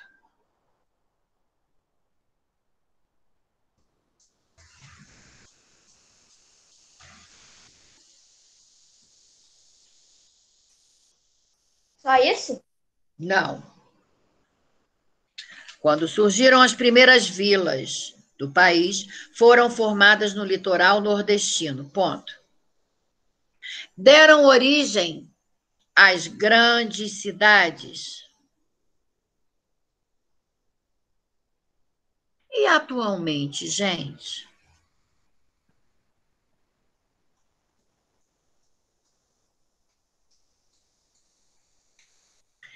Gente, atualmente, pessoas, né?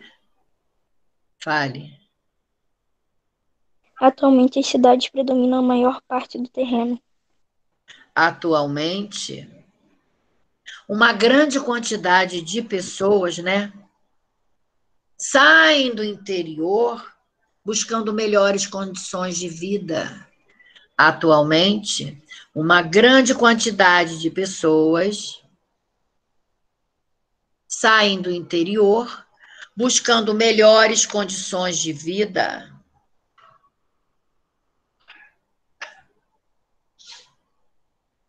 Podemos? Fale, Rian Silva. Pode, pode repetir o atual?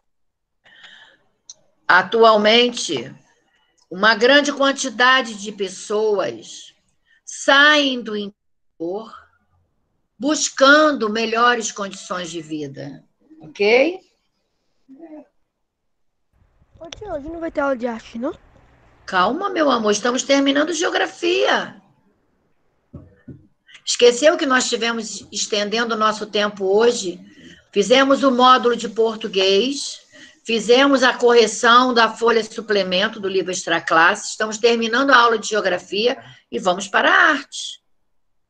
Façam o número 2, vou dar um minuto para a questão A e B. Já fiz. Vamos lá, um minuto. Já fiz. Já fiz, tia. Todo mundo já fez? A e B? Eu gostaria que um aluno, um aluno lesse. Eu. Então vamos, Pedro. Vamos, Pedro. Calma, calma, muita calma nesta hora. Muita calma. Quero ninguém nervoso aqui não, gente. Repetindo o atual. Atualmente, muitas pessoas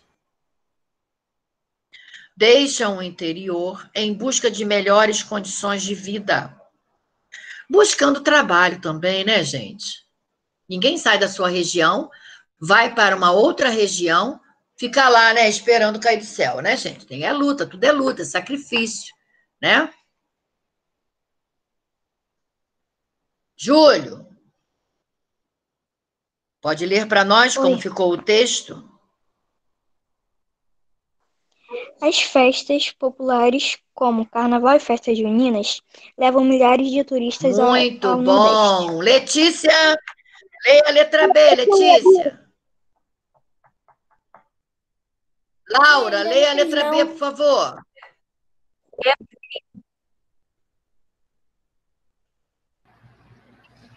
Posso ler? As cidades. Ela completou com as cidades, ok, gente? Ok? As cidades históricas despertam o interesse de muitos turistas em conhecer a história e a expressão artística de vários povos que participaram da colonização do Nordeste. Gente, olha, o meu sonho é conhecer e ficar um bom tempo em uma aldeia indígena. É, conhecer como é a vida, né, de uma tribo no dia a dia, mas não apenas em um dia para visitação. Fale, Rian Silva. Ô tia, se você perceber bem, essas, essas letras e essas imagens são A, A de abelha, C de coração, D de dado, E de elefante, F de flor, I de ioiô, F de sorvete e T de tartaruga. Isso aí. É, é, é o começo das, das letras. Com certeza. Gente, módulo de artes, vamos lá. Módulo de artes, vamos fazer hoje o capítulo 14. Mas tem aí um pedido, vou logo avisar a vocês. Calma aí, eu vou pegar o módulo de Vocês arte. lembram que nós já destacamos lá no finalzinho do livro a página 3? Vocês lembram? Tem alguém ainda que não destacou a página 3 lá no finalzinho do módulo? Eu me lembro bem que durante um capítulo aí, que apresentava a máscara, né? A tia Janete pediu, né, que vocês destacassem na página 3 o material complementar, que era para fazer máscaras. A de vocês ainda está aí ou foi só, foi só eu que destaquei? Veja aí quem está com essa folhinha aí, já pode destacar a página 3. Tia, a minha não tá comigo, não, a minha máscara. Quem tiver com a página 3 aí, pode destacar. Quem já destacou e já utilizou, não há problemas, ok? Tia, que página do capítulo? Hoje nós vamos iniciar na página 91, Pablo. Lá, Tia. lá no... Posso terminar, Luane? Pablo, você vai destacar lá no no material complementar, no final do módulo, a páginazinha 3. Você já destacou? Oi. Eu já destaquei e fiz a, a máscara, mas ela tá, não tá comigo. Tá. Essa máscara, tia? Essa máscara mesmo. Alguns já destacaram, né? Que nós já trabalhamos com a máscara, e até eu pedi que destacasse. Quem não destacou, vai destacar agora. Quem não Tia. destacou, destaca.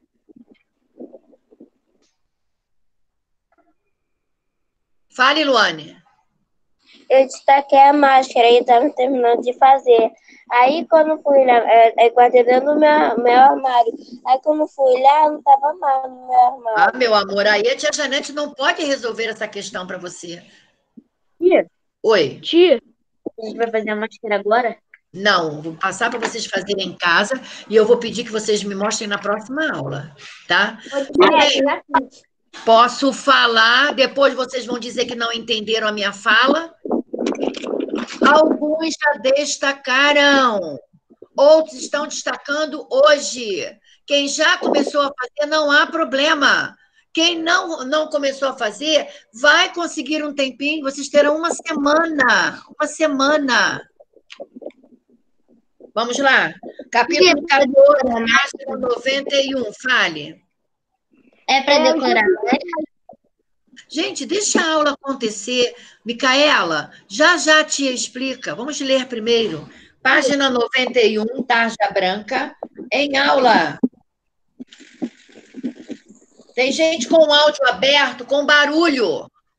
Bom dia, Matheus, criança linda, abençoada.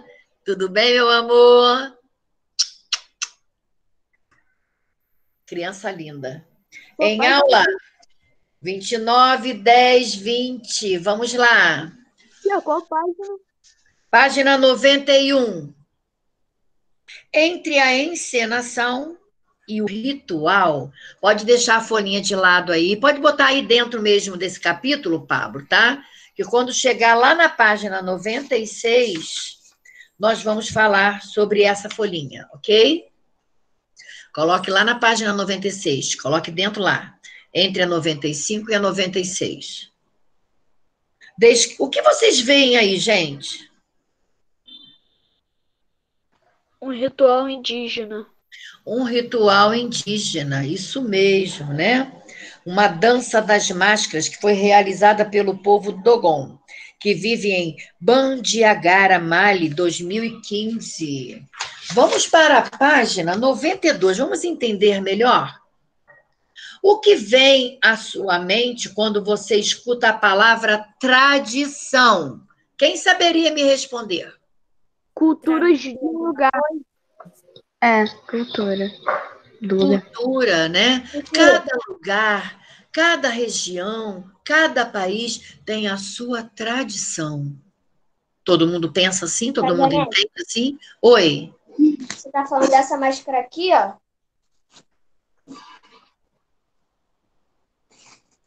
Você já concluiu a sua. Deixe aí dentro da página 95 e 96. Ok? Lá na frente, gente, prestem atenção. Meu Deus, eu não vou conseguir dar aula, não, hein, gente? Eu vou esticar a aula até meio-dia, hein? Vou esticar a aula até meio-dia. O Pablo já fez assim, ó. ó. Não tinha, não. Vamos não? lá? Não, Vamos lá? Muitas formas teatrais tiveram origem em rituais religiosos. Um exemplo disso é o teatro grego, estudado no capítulo 13. Outro é a dança das máscaras, apresentada na página anterior, que é uma celebração do povo Dogon. Ó, tá lá na página 89 marcada por encenações teatrais que homenageiam os ancestrais e os deuses desse povo. Vamos ver aí essa imagem abaixo. Grupo de teatro Tichiloli se apresentando com máscaras em Ribeira Afonso, São Tomé e Príncipe. Esse tipo de teatro é apresentado apenas por homens, sendo que cada ator representa sempre o mesmo personagem. Além disso, os papéis, as falas e o figurino costumam ser passados para os membros de uma família. Os espetáculos costumam durar cerca de seis horas e são encenados ao ar livre. O Tichiloli conta a história de Carlos Magno e do Marquês de Mantua, com base em uma peça madeirense de 1540, que mistura as raízes africanas, as peças e temas portugueses medievais. Pode falar. Posso ler a segunda imagem? Não, agora não. Olharam a primeira imagem? Sim homens participando. Olhem a segunda.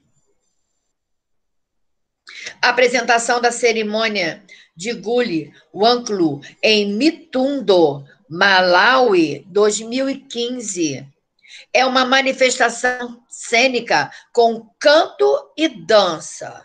Nele interpretam-se animais, espírito dos mortos e malfeitores, como traficantes de escravos. O Gulhuanglu serve como ritual de passagem, introduzindo os homens jovens à idade adulta, encenado em datas especiais como casamentos e funerais. Gente, que cultura, né? Uma cultura diferente. Ah, eu sou louca para estar numa aldeia, gente. Lá na página 93, entre a tradição e o contemporâneo. Gente, Muitos artistas se debruçaram sobre essa relação entre o teatro e as suas origens ritualísticas. Esses artistas buscaram renovar e transformar o teatro contemporâneo por meio de um encontro constante com ideia de tradição, buscar algo que já vinha desde lá de trás. Artistas como o francês Antonin Artaud 1896-1948, o polonês Jerzy Grotowski, 1933-1999, e o brasileiro José Celso Martinez, 1937. Pesquisaram formas tradicionais para propor novos tipos de relação entre o ator e o espectador, novos modos de organizar o espaço cênico e de encarar o texto teatral. Eles criaram novos tipos de teatro por meio do encontro com tradições muito antigas. Ou seja, trazer o que era o antigo, o que era o tradicional, né? O que era uma tradição do antigo para o atual. Observem essa imagem. José Celso Martinez na peça Tanico Dionisíacas, em São Paulo, 2010. Esse tipo de pesquisa criativa também é uma forma de pôr em contato culturas teatrais diferentes, de modo a criar novas possibilidades. Alguém aqui já assistiu alguma peça de teatro? Ô tia, eu já, já. fiz, mas aqui não assim. Gente, eu só quero sim ou não e quem assistiu. Sim. Já, eu já, tia. Então, vocês já sabem como é que acontece uma peça teatral, né? É o caso da companhia Izango, que mistura tradições do teatro da África do Sul com características do teatro europeu, atualizando histórias teatrais de longa data. Gente, olha só. Vamos lá para a página 94. Muitos são os elementos teatrais que vieram diretamente de rituais e celebrações religiosas. Prestando atenção, Pablo, a leitura. Um deles é a máscara. Vocês lembram que muitas pessoas ficam logo pensando qual é a máscara que vai ser utilizado no carnaval para quem pula carnaval, para quem curte o carnaval, né? Então muitas pessoas gostam de criar uma máscara, né? Tem algumas pessoas que vão em máscaras, cada uma diferente da outra, cada uma mais assustadora que a outra.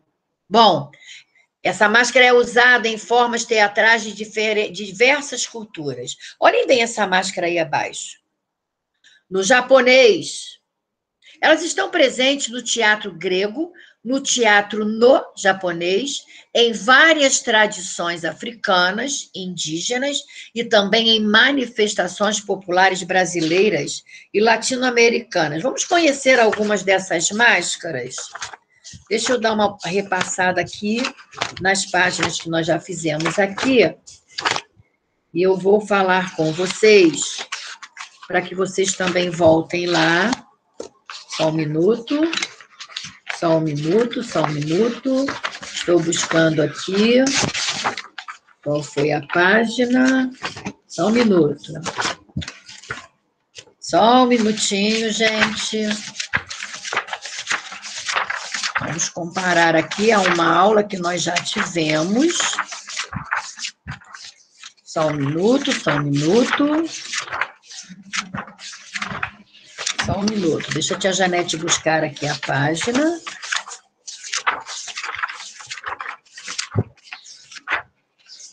Falamos dos instrumentos, a música na tradição, falamos sobre as flautas. Isso, isso mesmo. Falamos sobre danças, sobre a música africana, o teatro grego, o teatro grego. Isso mesmo. Não, não falamos ainda sobre essa máscara. Essa máscara aí na página 94 é uma máscara da etnia Tabua, da Zâmbia. Máscara de cavalhada do Brasil e máscara de teatro no do Japão. São máscaras interessantes. Vocês já haviam visto? Já Não. conheciam esses tipos de máscaras? Não. Lá na página 95 tem uma atividade. Vamos construir uma máscara. Para isso, destaque o modelo. Quem já destacou, tá? Só vai terminar a construção, aí a ilustração, tá?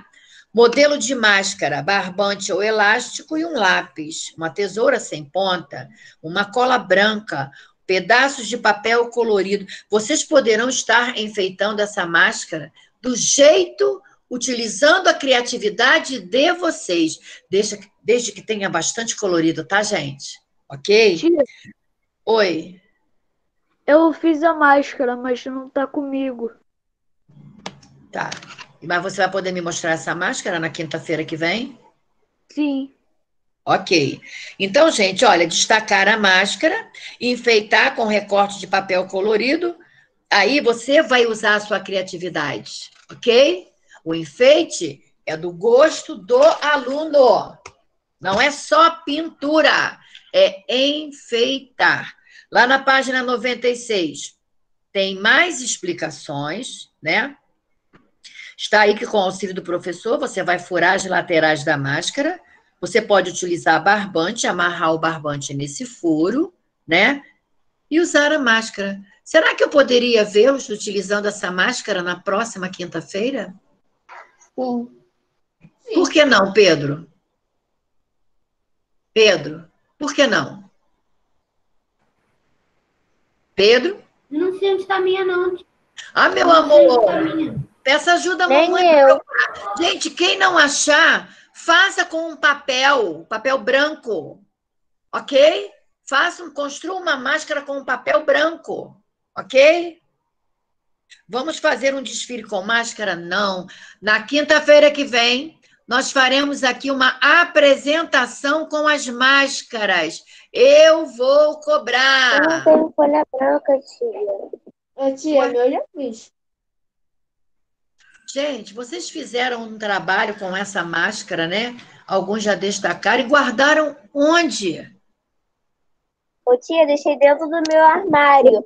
A D Então, deixei sempre dentro do meu armário. Depois você acha um tempinho, vá lá no seu armário e procure sua máscara. Gente, vocês Mas, terão que enfeitar essa máscara. Quem não conseguir encontrar, qual a dificuldade, Pablo? Alguma dificuldade? Não? Nada, tia. Ah, eu pensei que você estivesse com alguma dificuldade, meu querido. Entendeu? Gente, quem não tiver, não encontrar a folhinha, como vocês têm que usar a criatividade de vocês, usem a folhinha que vocês tiverem, construam vocês uma máscara diferente. Ok? Quem destacou hoje a folha branca, faça na folha branca. Quem não sabe onde colocou a folha, por favor, crie uma máscara diferente. Na aula de arte da próxima quinta-feira, eu vou querer ver essas máscaras no rosto de vocês. De um minutinho. Se eu não achar minha máscara, eu vou fazer com a folha de papel. Ok, ok. Estamos combinados, gente? Acabou de fazer a máscara, ilustrou a máscara. Deixe dentro do módulo. Ok? É porque minha mãe tem mania de todo, todo papel Como é que é? pera, pera, pera, pera. Moça, moça, moça, moça. Tia Janete não, não gostou do, do termo que você utilizou. A mamãe, ela não tem manias. São modos que a mamãe tem de reger a sua casa. Não é manias. Um filho não pode dizer, ah, minha mãe tem manias. Por favor. Abra sua câmera. Mamãe está aí perto? Abra sua câmera e deixa aberta. Tia, saiu, ela foi levar meu para o médico. Ah, então tá. Quando a mamãe chegar, você vai dizer para ela que você falou aqui na aula que ela tem manias e vai pedir desculpas à mamãe, por favor. Mamãe não tem manias. Já pensou quando você tiver sua filha, a sua filha numa aula online disser para a turma inteira que, a- que você tem manias? Olha isso. Ai, ai, ai, ai, ai. Tia, Oi. Se Deus quiser, que na época, na, na, na, tia, na época da filha de, de Luane, é, não- se Deus quiser, não vai ter aula online, não, tia. Vai ter aula normal, tia. Por quê? Vocês não gostam da aula online, gente? É lógico que não. Não, não, Não, tia, Gente, mas não dá aula presencial. Olha só, deixa eu falar uma coisinha para vocês. Nós estamos aprendendo a cada dia a ter um momento diferente, um momento não presencial. É uma atitude, né, que nós não esperávamos. Aliás, é um fato que nós não esperávamos passar por ele e estamos tendo que rever nossas atitudes. Eu não estou dizendo que não vai haver mais aulas presenciais, não foi isso que eu quis dizer.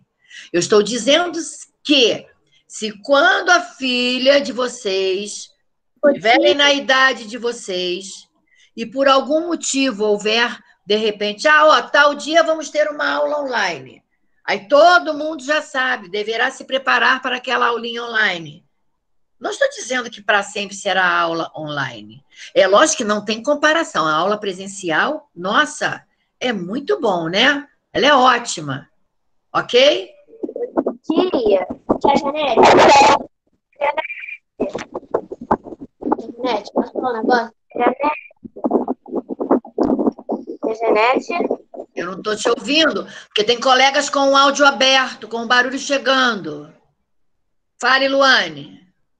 É porque meu celular, o celular do meu pai tá 5%. Aí Eu sei. descarrega. Circulem a, circulem a página 96 e vamos para a nossa chamada. Vamos lá. Janete, Oi. posso falar um negócio? Daqui a pouco, depois que eu terminar a chamada. Adriele. Presente. Ana Beatriz. Bruno. Presente, tia. Carolina. César. Presente.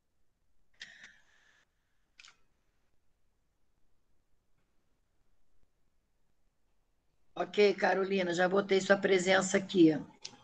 Daniel Thierry. Presente!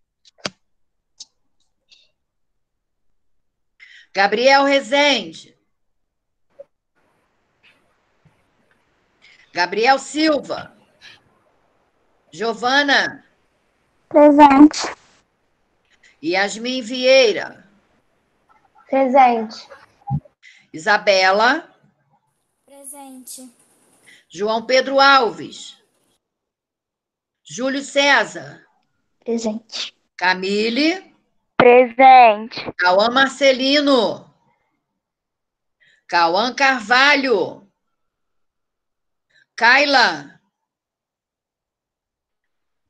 Kathleen. tia. Kaila. Ok. Kathleen. Ok, Kathleen. Clara.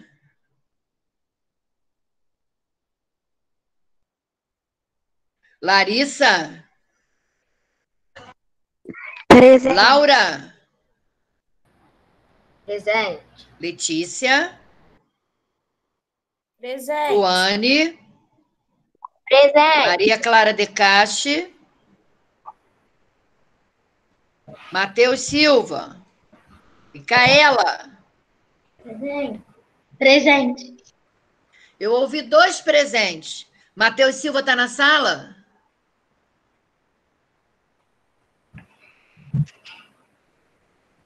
Micaela está presente. Nicole. Presente. Oliver. Pablo. Presente. Pedro Henrique. Presente. Ian Silva. Um presente. Ian Miguel.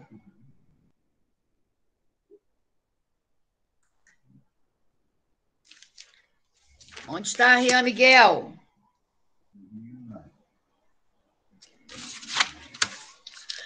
Sofia. Thaísa. Presente. Vinícius. Presente. Vinícius respondeu, tia. Ok, meu amor. Yasmin Verediano. Gente, chegamos ao fim da nossa aula. Acrescentamos apenas seis minutos. Pode falar, Pedro. Acrescentamos apenas seis minutos além do tempo. Pode falar, Pedro. Não, eu vou esperar você terminar de falar. Tá. Então, prestem bem atenção. Boletins estão disponíveis na secretaria da escola. Amanhã já fizemos a correção da folhinha do livro suplemento, né? Extra classe. Vocês poderão, poderão estar enviando juntamente com os desenhos. Coloquem os nomes dos desenhos de vocês, para que eu possa estar vendo quem mandou o desenho para mim. Na folhinha preenchida, com nome e sobrenome, ok? E tem trabalhinhos também que vocês estão fazendo, ok? Total atenção, por favor, aos trabalhos. Ok? Pode falar, Pedro. Fale, Pedro. Posso mostrar agora? tia? Pode, meu filho, pode. Tá dando pra ver, tia? Tá, meu filho, muito lindo. Fale sobre seu trabalhinho, fale. Tia, eu desenhei alguns animais aqui, de óculos escuros. Você gosta de desenhar, Pedro? Sim, tem outro desenho aqui, tia. Nossa, gente, que lindo, hein? Muito lindo. Tem mais alguém desenhista aí na sala, gente? Eu, tia. Olha, o irmão também está acompanhando, ó, está aprendendo desenho também. Que show, hein? Muito bom. Gente, total atenção ao dia de amanhã, dia de entrega de trabalhos, ok? Foi marcado a um. Foi marcado. Já estou me dispensando, gente. Estão querendo ficar livre de mim rápido? Caramba, gente! Ah, tá com fome? Então, gente, ó, atenção, a data de amanhã, entrega de trabalhos, de boletim. Tchau, Beijo. Tchau, tia. Fica com Deus. Tchau, Ô, tia. Até amanhã. Tchau. Tia. Tchau. Oi. Tia. Tia. Oi. Vale. Fica até amanhã, tá? Até amanhã, se Deus quiser. Beijos. Beijo.